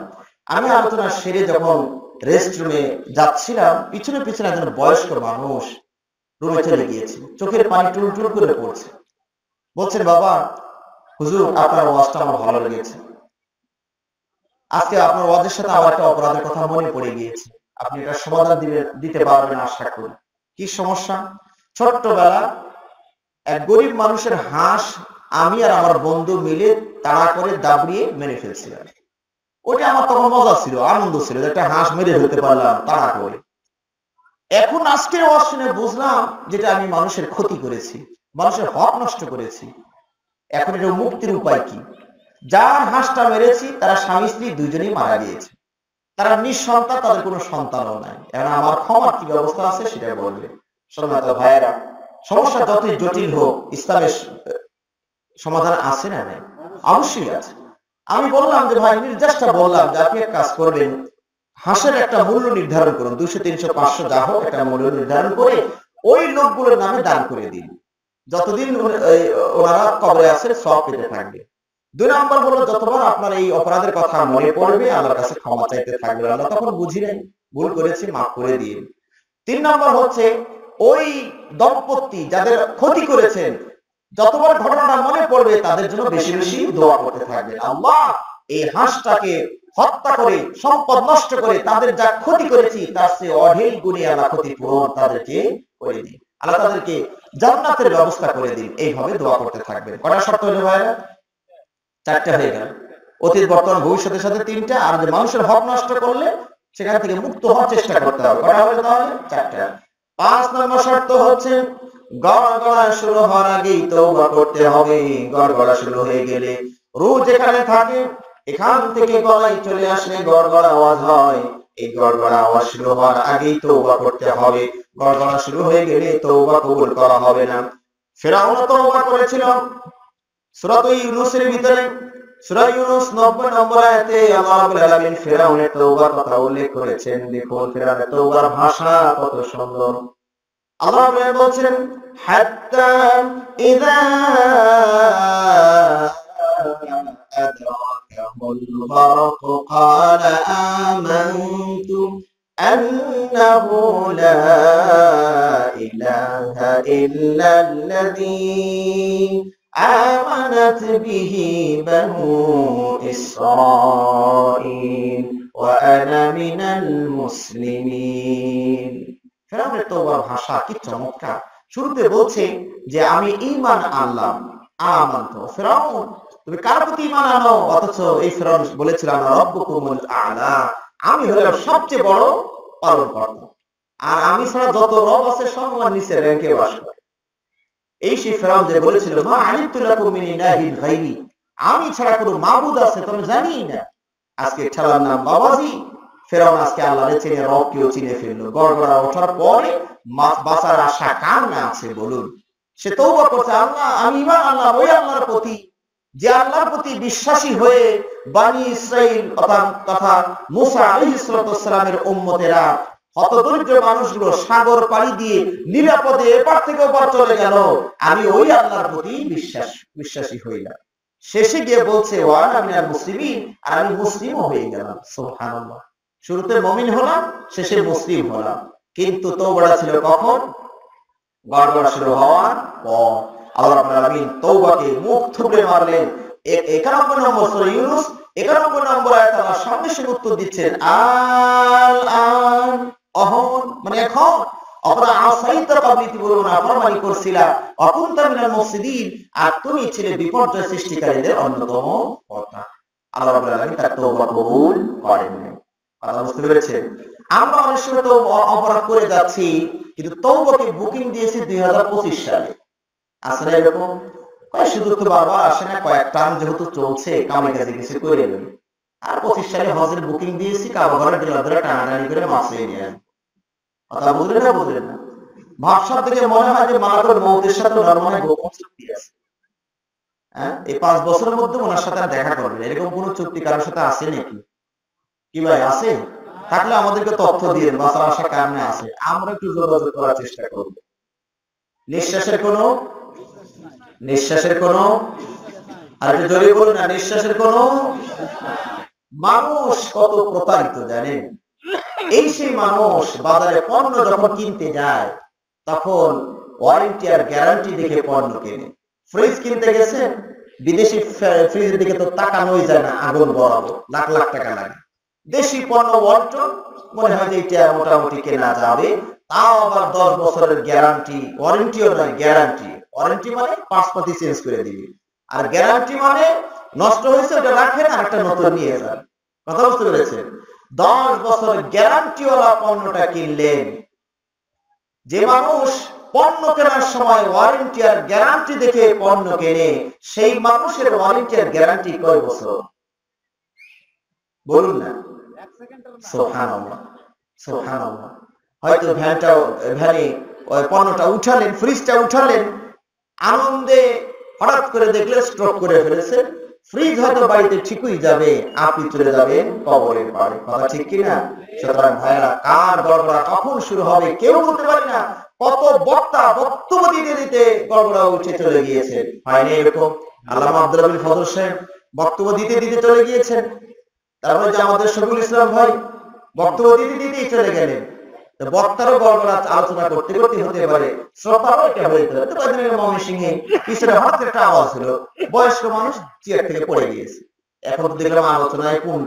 অবস্থা। যদি মানুষটা মারা যায়, তা তো আলোচনা কি করবে? সব তো নিয়ে ব্যস্ত হয়ে যাবে। সবাই দোয়া দোয়া করতেছিলাম। আলহামদুলিল্লাহ, কিছুক্ষণ পরে ফিরছে। কথা বুঝলে এখন যদি এই যে গড়গড়াকার কখন শুরু হবে কেউ আমরা জানি না, সুতরাং তৌবাকে বিলম্ব করা যাবে না। ছয় নম্বর শর্ত হচ্ছে, পশ্চিম আকাশে সূর্য দিতে হওয়ার আগেই তৌবা করতে হবে। মনে থাকবে ভাই? ছয়টা শর্ত মনে থাকবে ইনশাআল্লাহ। এই মুহূর্তে গুণাটা কি করবেন? ছেড়ে দিবেন। অতীতের জন্য অনুশোচনা ব্যক্ত করবেন। ভবিষ্যৎ আর করব না, এইভাবে আল্লাহকে ওয়াদা দিবেন। চার নাম্বার, মানুষের হক নষ্ট করলে মুক্ত হওয়ার চেষ্টা করবেন। পাঁচ নাম্বার গড়গড়া শুরু হওয়ার আগেই তওবা করবেন। ছয় নাম্বার, পশ্চিম আকাশে সূর্য উদিত হওয়ার আগেই তওবা করবেন। সম্মানিত ভাইরা অনেক গুণা আছে। আমি একটা উদাহরণ আপনাদের সামনে দিব। এই যে দেখুন, দাড়ি চেষে ফেলা। এটা গুণা না গুণা না? এটাকে সুন্নাত বলে আরও খাটো করা হয়েছে। আল্লাহ নবী সাল্লাম আল্লাহ এবং তার রাসূল যেটা আদেশ করেন, এটা কি হয়ে যায়? ফরজ হয়ে যায়। ফরজ আর ওয়াজিব আমাদের ভাষায় একই। শুধু হানাফি মাযহাবে একটু পার্থক্য করা হয়েছে ফরজ আর ওয়াজিবের ভিতরে। কিন্তু সংজ্ঞায় পার্থক্য, ফলাফলে কিন্তু একই। ফরজ সারলেও যে শাস্তি, ওয়াজিব সারলেও সেই শাস্তি। যাই হোক, আমরা বলছিলাম যে এই যে দাঁড়ি চাষা, কেটে ফেলা, কাবিরা গুণা অহরহ সমাজের মানুষ এটা করছে। দুঃখটা প্রকট হলো কখন? যে এই যে অন্যটা আমরা করছি, এটা যে গুণা তা আমরা একদম ভুলেই গিয়েছি। সমস্যাটা এই জায়গায় বেশি। একটা মানুষ অপরাধ করে, পাপ মনে করে যদি করে, তবুও তো একটা মানে ই থাকে, পর্যায় থাকে। যে পাপ মনে করে করেছেন কোন একদিন তৌবা করবে। কিন্তু যদি হালাল মনে করে করেন, তো ওনার ইমানই তো থাকবে না। চিরদিনের জন্য জাহান্নাম যেতে হবে যদি এই হালাল মনে করে মারা যায় আমার কথা বুঝতে পেরেছেন? দাড়িকে বাড়ানোর কথা বলা হয়েছে, আর নাভির নিচে পরিষ্কার রাখতে বলা হয়েছে। কথা ঠিক? কথা ঠিক? কিন্তু আল্লাহর সাথে আমরা কেমন বিরোধিতা করছি? যেটাকে আল্লাহ রাখতে বলেছেন, সেটা সপ্তাহে দুই, তিনবার কোরবানি করছে। আর যেখানে পরিষ্কার করতে বলেছেন, ওখানে তো সময় নেই। ওটা সুন্দরবন বানায় রাখছে। কথা বুঝলেন না বুঝলেন না? আচ্ছা ভাই, আপনি যখন ওই নাপিতের কাছে দাড়িটা কেটে ফেলেন, তো নাপিত আপনাকে কয় পয়সা দেয়? পয়সা নেয়। একটা মাল দিলেনও, আবার পয়সাও দিলেন। এর চেয়ে বড় লসের ব্যবসা আছে নাকি? কত দিন দাঁড়িয়েও দিয়ে আসলেন, পয়সাও দিয়ে আসলেন। আমার কথা বুঝতে পেরেছেন? আচ্ছা এটা দাড়ি চাষার পরে আপনার কি কি লাভ হয় একটু বলেন তো, এক নাম্বার বলুন তো, লাভ? কি লাভ হয়? সবাই আপনারা একশো দেড়শো টাকা করে দেওয়া শুরু করে, তাই হ্যাঁ হ্যাঁ কি সুন্দর চেহারা, দাড়ি কাটছে। নেন ভাই, দশ টাকা, বিশ টাকা, পাঁচ টাকা দেওয়া শুরু করে। দেয় মানে এই জন্য সালাম দেওয়া শুরু করে। কি দেয় তাহলে? কি পাওয়া যায়? কিছুই নাই শুধু শয়তানকে খুশি করা গেল। আল্লাহ কিন্তু রাগ- রাগানো গেল। এছাড়া কিছুই পাওয়ার নাই। এটা আমি মা বোনদেরকে বলব আপনারা আপনাদের স্বামীদেরকে উদ্বুদ্ধ করুন দাঁড়িয়ে রাখার প্রতি। কেন? যারা দাঁড়িয়ে রাখে তারা সহজে অন্যায় কাজ করতে পারে না। কথা বুঝলেন না বুঝলেন না? এই জন্য আমি আপ- আপনাদের অনুরোধ জানাচ্ছি। এরপরেও সমাজে আরও যে সকল গুণা আছে গান বাজনা কাবিরা গুণা ঢোল তবলা প্রত্যেকটা মুসলিমের ঘরে ঘরে এখন বাজনা শুরু করেছে। যেটা পূজার বাজার কথা ছিল, সেটা এখন প্রত্যেক মুসলিমের ঘরে ঘরে নাই, মুঠোয় মুঠোয় এখন। কথা বুঝতে মুঠোয় মুঠোয় শুরু করেছে। দুঃখটা আরও প্রকট হয়। তার আগে একটা কথা বলি। দেখুন, গান বাজনার ব্যাপার, আল্লাহ নবী সাল্লাম গান বাজনা শুনে কানে আঙ্গুল দিয়েছিলেন যাতে করে গানের আওয়াজ, বাজনা না শোনে। আর আমার যুবক ভাইরা গান বাজনা ভালো করে শোনার জন্য কানের ভিতরে ইয়ারফোন ঢুকেছে নবীর চরিত্রর কাজের সাথে আমাদের চরিত্রের কোনো মিল আছে না উল্টা গতিতে চলছে? আবার সেই নবীর সুপারিশের সুসাফাতের অপেক্ষায়ও আমরা আছি। দুঃখটা প্রকট হয় যখন মসজিদের ভিতরে গানের আওয়াজ বেজে ওঠে, ঠিক না? আমি মনে করি মসজিদের ভিতরে গানের আওয়াজ কোনো কাফেরও নিয়ে যায়নি, বেনামাজিও নেয়নি। কারণ বেনামাজি, নামাজি পড়ে না, মসজিদে যাবে কেন? তাহলে মসজিদের ভিতরে গানের আওয়াজ নিয়ে গেল কারা? নামাজি মানুষ। রিংটোনটা দিয়েছেন গানের আওয়াজে। সাইলেন্ট করতে গেছেন ভুলে। আল্লাহ আকবর। আর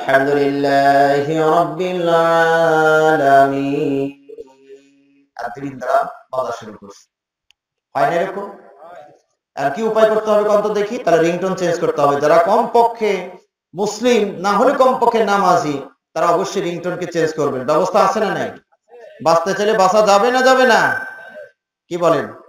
যাবে না বাসা এই দেখেন, আমি একটা রিংটোন আপনাকে শুনে কিসের ডাক এটা? কি পাখি? এটা হলো আমার রিংটোন, এই যে সেটের। এই সেটটা মিস কিন্তু ওখানে আবার এটা ঢুকান যায় না।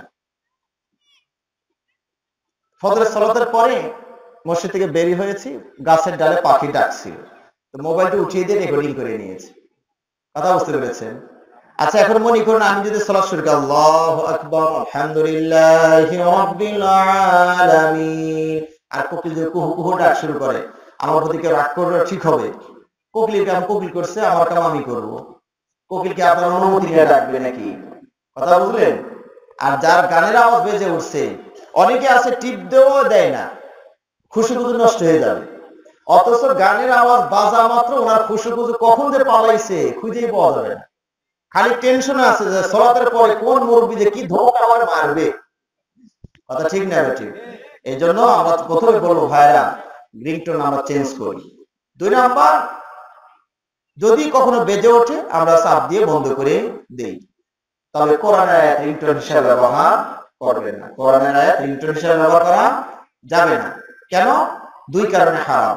এক নম্বর হলো ধরুন আপনি কোরআন আয়াত হিসেবে ব্যবহার করেছেন, বেজে উঠছে। কুল হুয়াল্লাহু আহাদ হ্যালো বন্ধু, কেমন আছিস? ভালো আছিস? আল্লাহর কালাম শেষ করতে দিলেন না। তার মানে অর্থটা হলো এই, আল্লাহর কালামের চেয়ে বান্দার কালামের গুরুত্ব আপনার কাছে বেশি। আল্লাহ তাআলা স্টপ করেন, আল্লাহ থামেন, আমি দেখি বন্ধু কি বলে ওইটা শুনুন।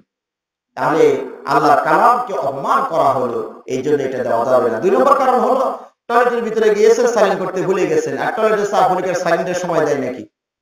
তো ওখানে বেজে উঠল, কুল আল্লাহ, টয়লেটের ভিতরে। তাহলে এটা কাম হয়ে গেল। এই জন্য কোরআনের কেউ দিবেন না। আশা করি আমার কথাগুলো বুঝতে পেরেছেন। চুরি কাবিরা গুনাহ, সমাজে চুরি আছে না নাই? তবে আমার কাছে মনে হয় ইদানিং শিং কাটা চোরের বদলে কলমের চোর একটু বাড়ছে। হ্যাঁ? শিং কাটা বেড়ে গেছে? তাই নাকি? আল্লাহ কি কোনটা বাড়ছে? পকেটেরটা। ওইটাই আমি বলতে চাইলাম যে কাটার চেয়ে কলমের চোর একটু বেশি বাড়ছে। কেমনে? অফিস দায়িত্ব দিল যে আব্দুল্লাহ সাহেব দশ হাজার টাকা দিলাম বাজার ঘাট করে নিয়ে আসে। দেখা গেল ছয় হাজার টাকা বাজার করে আর তিন কেজি কিনে পাঁচ কেজি লেখে সত্তর টাকা দিয়ে কিনেন একশো আশি টাকা লেখে। কথা বুঝলেন? এইভাবে লিখে দশ হাজার টাকা আমাদের ভাষা দিয়ে ছয় হাজার টাকা বাজার আর চার হাজার টাকা পকেটে দেয়। কৃষি দিয়ে চুরি করল। কলম দিয়ে চুরি করছে। ভাষা মেমো লিখে চুরি করেছে। আমি কয়েকদিন আগে এক আল্লাহর বান্দা মসজিদ দুটো ফ্যানের টাকা দিয়েছে, ছয় হাজার তিন থেকে ছয় হাজার।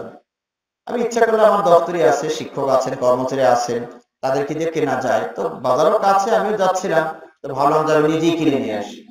দোকানদারের কাছ থেকে বিআরবি ফ্যান তখন হ্যাঁ সাতাশশো টাকা করে দাম হয়েছে দুইটা ফ্যান তো মেমন লেখার সময় দোকানদার বলতেছে হুজুর, কত লিখতা আমি বললাম মানে যা কিনছি তাই। কেউ তো? কথাটা বুঝলেন না বুঝলেন তা আমি মনে মনে একটু অপমানও বোধ করলাম যে সমাজের অবস্থা তাহলে কত খারাপ হয়েছে যে আমার মতো এতগুলো র্যাবের মালিক, র্যাব বোঝেন তো দাঁড়ি মানে তো র্যাব এতগুলো র্যাব, এতগুলো একটা টুপি, জুব্বা, আমাকেও যে সমাজের মানুষ চুরির অফার দিতে পারে, এই সমাজের অধপতন কোন পর্যায়ে গিয়ে থামছে? চিন্তা করেছে? সম্মানিত ভাইরা এভাবে অনেক কাবিরা গুণা আছে। সালাত না পড়া কাবিরা গুণা কথা ঠিক না ঠিক? সালাত যদি পড়ে, জান্নাতুল ফেরদাউস পাবে। আর সালাত যদি না পড়ে, কোন জান্নাত? কোন জান্নাতে যাবেন জাহান্নামে যেতে হবে। কথা বুঝতে পেরেছেন? সালাত যদি পড়েন কোন জান্নাত? জান্নাতুল ফিরদাউস। জান্নাতুল ফিরদাউস। যে জান্নাতের উপরে আল্লাহ রাব্বুল আলামিনের আওরসটা থাকবে। কথা বুঝলেন না? ওই জান্নাতে কে কে যেতে রাজি আছেন? হাত তুলে তো দেখি। আল্লাহ আমাদের সবাইকে কবুল এবং মঞ্জুর করে নেন, বলে আমি কিন্তু ভাইরা হাত তুললে কি ওই জায়গায় যাওয়া যাবে? টিকিট কাটতে হবে, টিকিট কাটতে হবে। টিকিট কাউন্টার চেনেন তো? মসজিদ হচ্ছে টিকিট কাউন্টার। দৈনিক কাউন্টারটা কয়বার খোলে বলুন তো? পাঁচবার। আবার একজন আহ্বানকারী আহ্বান করে হাইয়াল আসলা হাইয়াল আলফলা কাউন্টার খুলেছে, টিকিট সংগ্রহ করো, ঠিক আছে না? দৈনিক কয় পাঁচবার গিয়ে ফরজ সালাতের হিসাবগুলো দিয়ে শুধু। মাত্র সতেরোটা টিকিট কাটবেন। সতেরোটা রাকাত মানে ধরে নিলাম সতেরোটা টিকিট। ফজরের সময় কয়টা টিকিট কাটবেন? সুন্নত নফলটা আপনারা হিসাব করবেন। ফজরের সময় কয়টা টিকিট কাটবেন? জোহরের সময়, আসরের সময়, মাগরিবের সময়, এশার সময়, এই মোট সতেরোটা টিকিট যদি দৈনিক কাটেন, তাহলে মাস শেষে কত হবে বলুন তো দেখি? সতেরো গুণন তিরিশ। আর বছর শেষে কত হবে? তিনশো পঁয়ষট্টি গুণন তিরিশ। ঠিক তো? জীবন শেষে কতগুলো হবে তাহলে? ষাট বছরের জীবনে। কতগুলো রাকাত আপনার হয়ে গিয়েছে সোহান আল্লাহ আল্লাহ খুশি হয়ে আপনাকে ওই স্থান জান্নাতুল ফেরদাও দান করবেন আল্লাহ আমাদেরকে সুযোগ করে দিন বলে আমিন। সম্মানিত ভাইরা পাঁচক্ত এই যে মসজিদ মসজিদ হচ্ছে আবার অফিস। এখানে দৈনিক পাঁচবার হাজিরা দিতে হবে। বান্দাদেরকে কয়বার হাজিরা দিতে হবে? তিন, পাঁচবার হাজিরা দিতে হবে। মায়েরা মসজিদ যেখানে প্রসাদ পড়ে ওটি তাদের মসজিদ। ওখানে তাদেরকে পাঁচবার হাজিরা দিতে হবে। একসময় হাজিরা লেখা হতো খাতা কলমে। এবারে আগমন প্রস্থান লেখা আছে। কখন গেলেন, কখন আসলেন লিখতে হয়।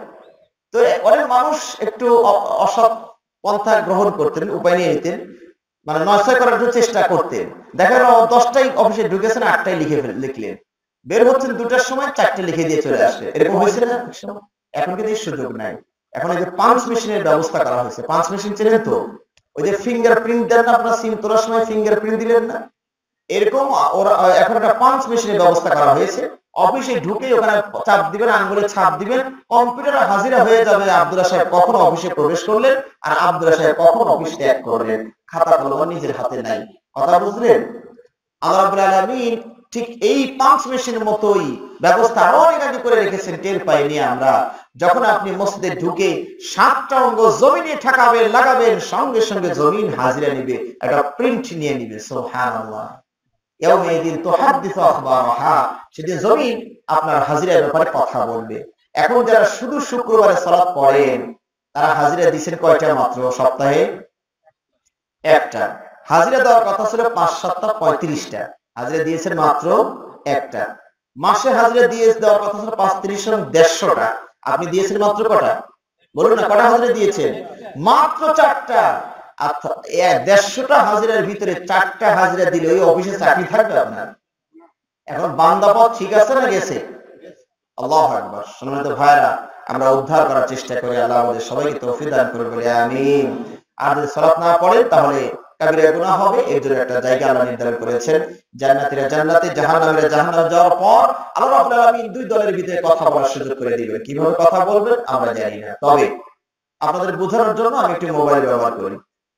ফোন দিল যেন, হ্যালো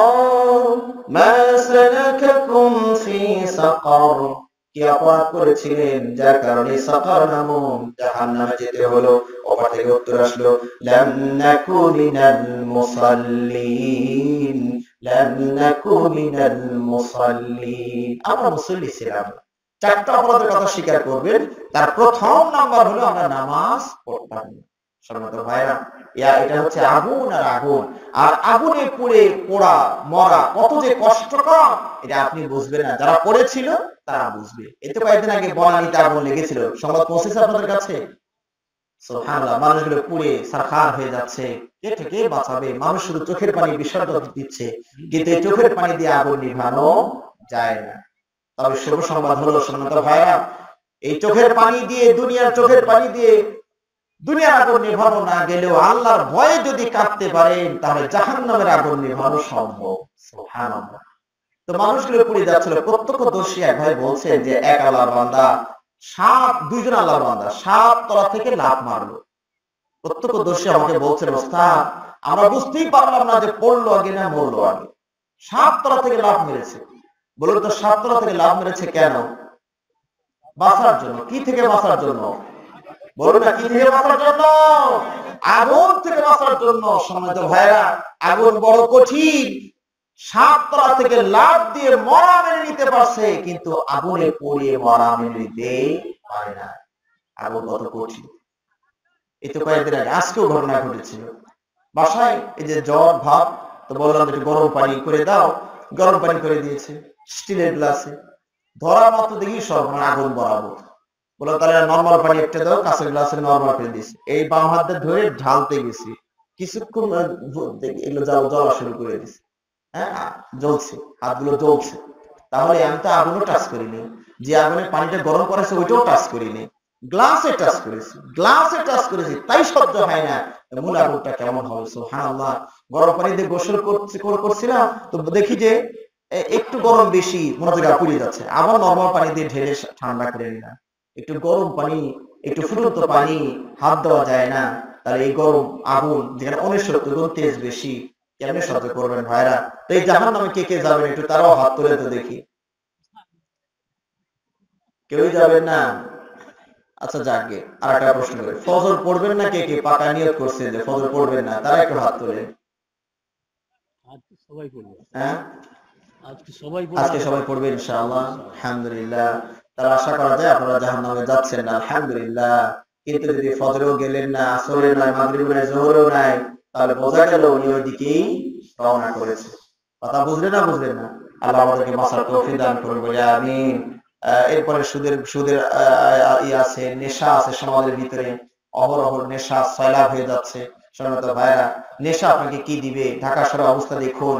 এরা যারা হিরোইন চিন নেশাখোর এরা ঘর বাড়ি হারাইছে, স্বাস্থ্য হারাইছে সব কিছু হারিয়েছে কারেন্টের তার চুরি করে নিয়ে গিয়ে একটু নেশা টানাটানি করে। এমনই অবস্থা এদের যে পুলিশ এদেরকে গ্রেফতারও করে না। পুলিশ এদেরকে গাড়িতে উঠায় না। কেন? কয়ে, যে ও গাড়িতে উঠালেই পেশাব পায়খানা করে দিবে, এটা দুইবে কে কেমন অথর্ব। এই নেশা দিয়ে মানুষের কত ক্ষতি করা যায় জানেন? কয়েকদিন আগে বগুড়া, কয়েক বছর আগে বগুড়াতে বন্ধু বন্ধুর বোনকে প্রস্তাব দিয়েছিল বিয়ে। বন্ধু রাজি হয় নাই, ওই বন্ধু খেপে গিয়ে মারার চিন্তা ভাবনা প্ল্যান করেছে। পিকনিকের নাম দিয়ে নিয়ে চলে গেছে প্রাইভেট কারে করে মতো আর মদ খাওয়াইয়ে হ্যাঁ গাড়ি থেকে নামিয়ে গলায় গামছা লাগিয়ে টেনে টেনে, চেপে চেপে মেরে তারপরে বাড়িতে ফিরছে। এই ছেলে যদি নেশা না করতো ভাইরা, তাহলে কমপক্ষে তো জ্ঞান বুদ্ধি থাকতো চিৎকারটা তো দিতে পারতো, ভাই আমার মারলো, কে আছেন একটু বাঁচান? শুধু নেশার কারণে চিৎকারটাও করতে পারল না। ওই যে ঐশী মেয়েটা বাবা মাকে মারলো না পুলিশ মেয়ে হ্যাঁ? পুলিশ অফিসার যদি একটু জ্ঞান থাকতো একটা লাথি মারলে তুমি এটা ছিটকে পড়তো। ক্যারাটি মারতো জানাই আছে কথা বুঝলেন? কিন্তু নেশার কারণে পুলিশ অফিসার অকাতরে জীবন দিল। এরকম এমন ঘটনা ঘটেছে, বন্ধু বন্ধুর স্ত্রীকে পরিবার সহ দাওয়াত দিয়ে নিয়ে আসছে। বন্ধু আচ্ছা মতো খাওয়াই দিয়ে টান করে শোয়া রাখছে মদ খাওয়াইছে। খাইছে ও? বউটারে কম কম খাওয়ায়, চোখে মানে তার সামনে স্ত্রীকে ধর্ষণ করে ফেলল, কিছুই করার থাকল না এরকম গত বছরই চট্টগ্রামে বাসের ভিতরে একটা বিয়ের আয়োজন হয়ে গেল হঠাৎ করে। কেমনে? কিছু দূর যেতেই মাঝখান সামনে থেকে একজন ব্যক্তি তার সুন্দরী একটা মেয়ে সহ দাঁড়িয়ে গেলেন। গিয়ে কান্না কান্না সরাই বলছেন, ভাইরা আমাকে হয়তো অনেকে চিনবেন অনেকে চিনবেন না। আমি সে অমুক ধনী ব্যক্তি চিটাঙের মার্বিল সারা বড় ব্যবসায়ী। আমার জাহাজগুলো সব ডুবে গেছে আমি হঠাৎ করে রিক্ত হস্ত ফকির হয়ে গেছি। এই দুঃখ কাউকে বলার সুযোগ নাই। মেয়েটাকে যে বিয়ে দিব এই জন্য ব্যবস্থাও আমার হাতে নাই। যদি কেউ কিছু পারে তাহলে আমার একটু সাহায্য করতে পারে। পিছন থেকে আর লাভান্ত বলতেছে যে আপনার এই সুন্দরী মেয়ে বিয়ে দিতে আবার টেনশন করা লাগে। ছেলে তো আমার সাথেই আছে। এবারে দেখতো তোর পছন্দ হয়েছে নাকি? মানে নিজের ছেলে পরিচয় দিচ্ছে। কয়, আমার পছন্দ হয়েছে। তাহলে দেরি করে লাভ কি? বিয়ের ব্যবস্থা করে। তো হায়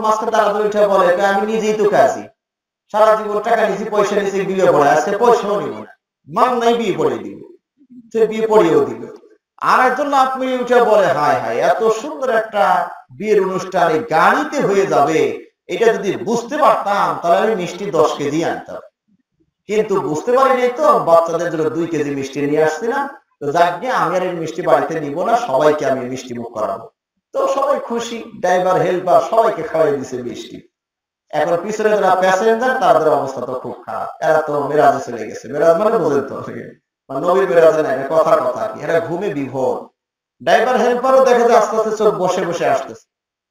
তো দেখে যার পানা যাচ্ছে না, চোখ ধরে রাখা যাচ্ছে না। তো বলছে, ড্রাইভার সাহেব, একটু সাইড করেন। চোখ তো ধরে রাখতে পারছি না। এক্সিডেন্ট হয়ে যেতে পারে। সাইড করেন, একটু রেস্ট নেই পরে আবার টান দিলেই হবে। তো ড্রাইভার সাইড করে দিয়ে ওরাও বিভোর ঘুমে আর ওই চক্রটা ট্রাক থামিয়ে, ট্রাক তো পিছনে ট্রাক, ট্রাকটা থামিয়ে যা যা গাড়িতে ছিল, সব নামাইছে। পকেট খালি, মোবাইল খালি, সব খালি করে নিয়ে উধাও। ঘুম থেকে উঠে দেখে কিছুই নাই। মোবাইল নাই, টাকাও নাই, ব্যাগও নাই, কিছুই নেই। দেখেছেন নেশা যে কীভাবে মানুষকে প্রতারিত করল? কীভাবে শান্ত মাথায় ডাকাতি করে নিয়ে চলে গেল? কেউ কিছু বলারও থাকল না, করারও থাকল না। এই জন্য ভাইরা, নেশা খুব খারাপ জিনিস, বাঁচার চেষ্টা করি। এটাও কাবিরা গুণা সুদ কাবিরা গুণা আমার ভাই আগে বলেছিলাম আমি দুটা হাদিস বলি আপনাদেরকে। আল্লাহ নবী সাল্লাল্লাহু বলেছেন, সুদের মারাত্মক গুনার ব্যাপারে বলছেন যে, দেড়হামুন রেবা ইয়াকুলুহু রাজুলু ওয়া ইয়ালামু আশাদ্দু মিন সিত্তাতি ওয়া তালাতিন আসলিনিয়া আমি বারোটার মধ্যে ছেড়ে দিব আর সাত মিনিট কথা বলব। উঠবেন নাকি আপনারা? সাতটা মিনিট কথা বলি। যেহেতু আসতে আমার একটু দেরি হয়েছে এদের আমি কিছুটা দায়ী। আল্লাহ আমাদেরকে ক্ষমা করুন বলে আমি বলছিলাম, সুদের ব্যাপারে দুটো হাদিস আপনাদেরকে শোনায়। আল্লাহ বলছেন, এক দেড়হাম, জেনে বুঝে যদি কেউ সুদ নেয়, ধরুন এক টাকা, তাহলে পাপের পরিমাণ কত? ছত্রিশ বার ব্যভিচার করলে যে পরিমাণ গুণা হয়, এক টাকার সুদের লেনদেনে সেই পরিমাণ গুণা হয়। আমি একশো টাকার একটা হিসাব করেছি। দেখুন একশো টাকার যদি কেউ সুদের লেনদেন করে, তাহলে কি পরিমাণ গুণা হয়? তিন হাজার ছয়শো বার। ওই পাপটা করলে যে গুণা হয়, একশো টাকা সুদে সেই গুণা হয়। আমার মনে হয় একটা যুবক যদি সারা জীবন অনিয়মে চলে, বিয়েই করল না, তার জীবনে তো তিন হাজার ছয়শো বার হওয়ার কথা না। কথা বুঝতে পেরেছে সুতরাং ভাইরা, এই সুদের নাম সুদ এত ঘৃণিত পাপ, এখান থেকে বেরিয়ে আসার চেষ্টা করে আল্লাহ আমাদেরকে তৌফিক দান করুন। আমিন। আর একটা হাদিস, সুদের সর্বনিম্ন পাপের কথা বলা হয়েছে কি? আপন মার সাথে অনৈতিক কাজ করা, আপন মার সাথে অনৈতিক কাজ করা, আল্লাহ আমাদেরকে এই সুদের কুফল হতে, সুদ অর্থনৈতিক ব্যবস্থা থেকে আল্লাহ আমাদেরকে বেরিয়ে আসার তৌফিক দান করুন, আমিন। আমার ভাই একটা প্রশ্ন করেছেন, ইন্না লিল্লাহি ওয়া ইন্না ইলাইহি রাজিউন কোথায়, কখন, কীভাবে, কোন সময় বলতে হয় এই বিষয়ে একটু বলবেন। আসলে, ইন্না লিল্লাহি ওয়া ইন্না রাজিউন আমাদের দেশের মানুষ শুধুমাত্র মানুষ মরলেই ব্যবহার করে, তাই না? কেউ মারা গেছে, ইন্না লিল্লাহি ওয়া ইন্না ইলাইহি রাজিউন আসলে এটা মানুষ মরার সাথে নির্দেশ যে কোনো বিপদের সাথে এটা সম্পৃক্ত। আল্লাহ কোরআনে বলে দিয়েছেন, আল্লাযিনা আসাবাতহুম, আল্লাযিনা ইযা আসাবাতহুম মুসিবা, ক্বালু ইন্না লিল্লাহি ওয়া ইন্না ইলাইহি রাজিউন। যে কোনো ধরনের বিপদ আপনি কি বলবেন? ইন্না লিল্লাহি ওয়া ইন্না ইলাইহি রাজিউন বলবেন। মনে থাকবে ইনশাআল্লাহ? মোবাইলটা পড়ে গিয়েছে, ইন্না লিল্লাহ হুসুট খেয়েছেন, ইন্না লিল্লাহ এরকম ছাগলে আপনার গরু খেয়ে ফেলেছে, ইন্না লিল্লাহ এরকম যে কোনো ধরনের বিপদ আপদ ইন্না বলবেন। সবশেষে মা বোনদের হাদিসটা স্মরণ করিয়ে দিই। ও যেহেতু মা বোনরাই আমার মনে হয় এলাকায় সবচেয়ে বেশি উপস্থিত হন তাদের জান্নাতে যাওয়ার সহজ উপায়টা আমি আজকে বলে দিব। চারটা কাজ যদি তারা করেন, তাহলে জান্নাতে যেতে পারবে। কটা কাজ মাত্র? এক নম্বর, সলাৎ আদায় করবেন, যেটার আলোচনা আমরা করেছি। দুই নাম্বার, কি বলুন তো? সম পালন করবে রমজান মাসে। তিন নাম্বার, স্বামীর ভালো কথা মেনে চলবে। পাপের কথা নয়। অনেক সময় মাসিক অবস্থায় যদি স্বামী ডাক দেন, শোনা যাবে না। স্বামী যদি সামনের রাস্তা ছাড়া অন্য রাস্তা ব্যবহার করতে চান ডাকে সাড়া দেওয়া যাবে না। কৌশলে বললাম একটু ইংরেজি সারাই বললাম হয়তো অনেকে বুঝে ফেলেছেন। কথা বুঝতে পেরেছেন। চার নম্বর হলো সতীত্বকে সংরক্ষণ করবেন তথা পর্দায় থাকার চেষ্টা করবেন। আল্লাহ আলামিন আমাদের প্রত্যেককে এই মাহফিলে যারা উপস্থিত হয়েছে আমাদের জীবনের ছোট বড় সকল গুণাগুলো আল্লাহ মাফ করে দিন। আমিন। আল্লাহ এই মাহফিলের আয়োজন যারা করেছেন যারা সার্বিকভাবে সহযোগিতা করেছেন অর্থ দিয়েছেন শ্রম দিয়েছেন মেধা ব্যয় করেছেন আল্লাহ, তাদের এই ক্ষুদ্র আমলটুকু কবুল করে নিন এবং মিজানের পাল্লায় আল্লাহ দিয়ে দিন। আমিন। আল্লাহ আমাদের মাঝে অনেকেই আমাদের আত্মীয় স্বজন অন্ধকার কবরে শুয়ে আছেন, আল্লাহ তাদের কবর মাফ করে দিন। আল্লাহ আমাদের মাঝে অনেকে অসুস্থ আছেন, সুস্থ করে দিন। অনেকে অভাবী আছেন অভাব দূর করে দিন। আগামীকালের মাহফিলের আমন্ত্রণ জানিয়ে আজকের মতো আমরা এখানেই শেষ করছি। আসসালামু আলাইকুম রাহমাতুল্লাহি ওয়া বারাকাতুহু দোয়া আমরা সবাই বলি সুবহানাকা আল্লাহুম্মা ওয়া বিহামদিকা আশহাদু আল লা ইলাহা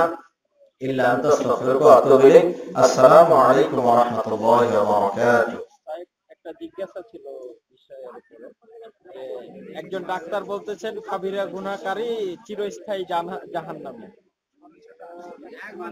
ভাই একটা প্রশ্ন করেছেন যে কাবিরা গুনাহ যিনি করবে তিনি চিরস্থায়ী জাহান নামে থাকবেন। কাবিরা গুনাহ আমরা আগে বলছি, কারণ আহলুস সুন্নাত জামাতের আকীদা আর মুতাজিলি, খারিজি এরকম আরও কিছু গ্রুপ আছে, তাদের আকীদার মাঝে কম বেশি আছে।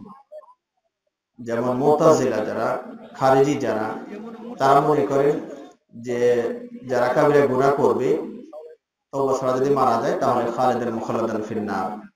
আর মোতাজিলা যারা, তারা বলছে, দুনিয়াতে সে কাফেরও না, মুমিনও না। তবে আখরাতে সে কাফের চিরদিন সে জাহান্নামে থাকবে। কিন্তু আহলুস সুন্নাহ জামাত রাকিদা হলো কাবিরা গুনাহ যিনি করেছেন, তার জন্য অপশন হলো কয়েকটা। প্রথম নাম্বার, তিনি যদি দুনিয়াতে তৌবা করতে পারেন আর আল্লাহ যদি তৌবা কবুল করে ফেলেন, তার আর সমস্যা নেই। ধরলাম তৌবা উনি করলেন, কিন্তু শর্ত পাওয়া যায়নি, কবুল হয়নি, অথবা তৌবাই করেন নাই। কাবিরা গুনাহ হারাম মনে করেই করেছেন, হালাল মনে করেন নাই হারাম হারা- হারাম মনে করেই গুনাহটা করেছেন তৌবা করার সুযোগ পান নাই। তাহলেও কিয়ামতের দিন আল্লাহর ইচ্ছা দিন থাকবে। আল্লাহ ইচ্ছা করলে লোকটাকে সরাসরি ক্ষমা করে জান্নাত দিতে পারে। আবার ইচ্ছা করলে পাপ পরিমাণ শাস্তি ভোগ করে জান্নাতে দিতে পারে। জি ফরজ এটা ফরজ। এটা আমাদের সমাজে এটা ভুল কথা বলা হয়। এটা ফরজ এটা। কারণ আল্লাহ এবং তার রসুল যদি আদেশ করেন, এটা ফরজ হয়ে যায়। হ্যাঁ যতক্ষণ এটাকে কোনো প্রাসঙ্গিক কারণে হালকা করা হয়। এখানে হালকা তো করা হয়নি, আর শক্তিশালী করা হয়েছে। নারীর সাথে সাদৃশ্য হয়ে যায়। এবং আল্লাহর সৃষ্টিতে পরিবর্তন করা হয়। যেগুলো কঠিন কঠিন হাদিস আছে। আমরা আমল করার চেষ্টা করি। আল্লাহ আমাদের সবাইকে তৌফিক দান করুন। আমি জি।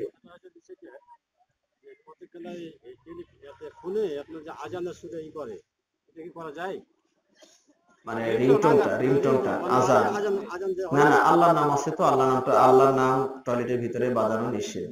আপনি ইসলামিক গানগুলো দিতে পারেন বাচ্চাদের কণ্ঠে ইসলামিক কিছু গান থাকে। অথবা পানির আওয়াজ পাখির আওয়াজ এরকম চেষ্টা করবেন যাতে করে মানে গান বাজনা থেকে বাঁচা যায় আর কি। চেষ্টা করলেন, চেষ্টা করবেন ইনশাআল্লাহ। কবুতরের ডাক দিতে পারেন। জি জি।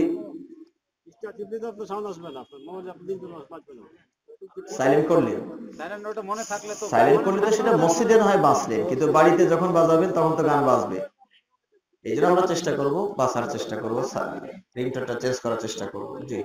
আসসালামু আলাইকুম রহমতুল্লাহ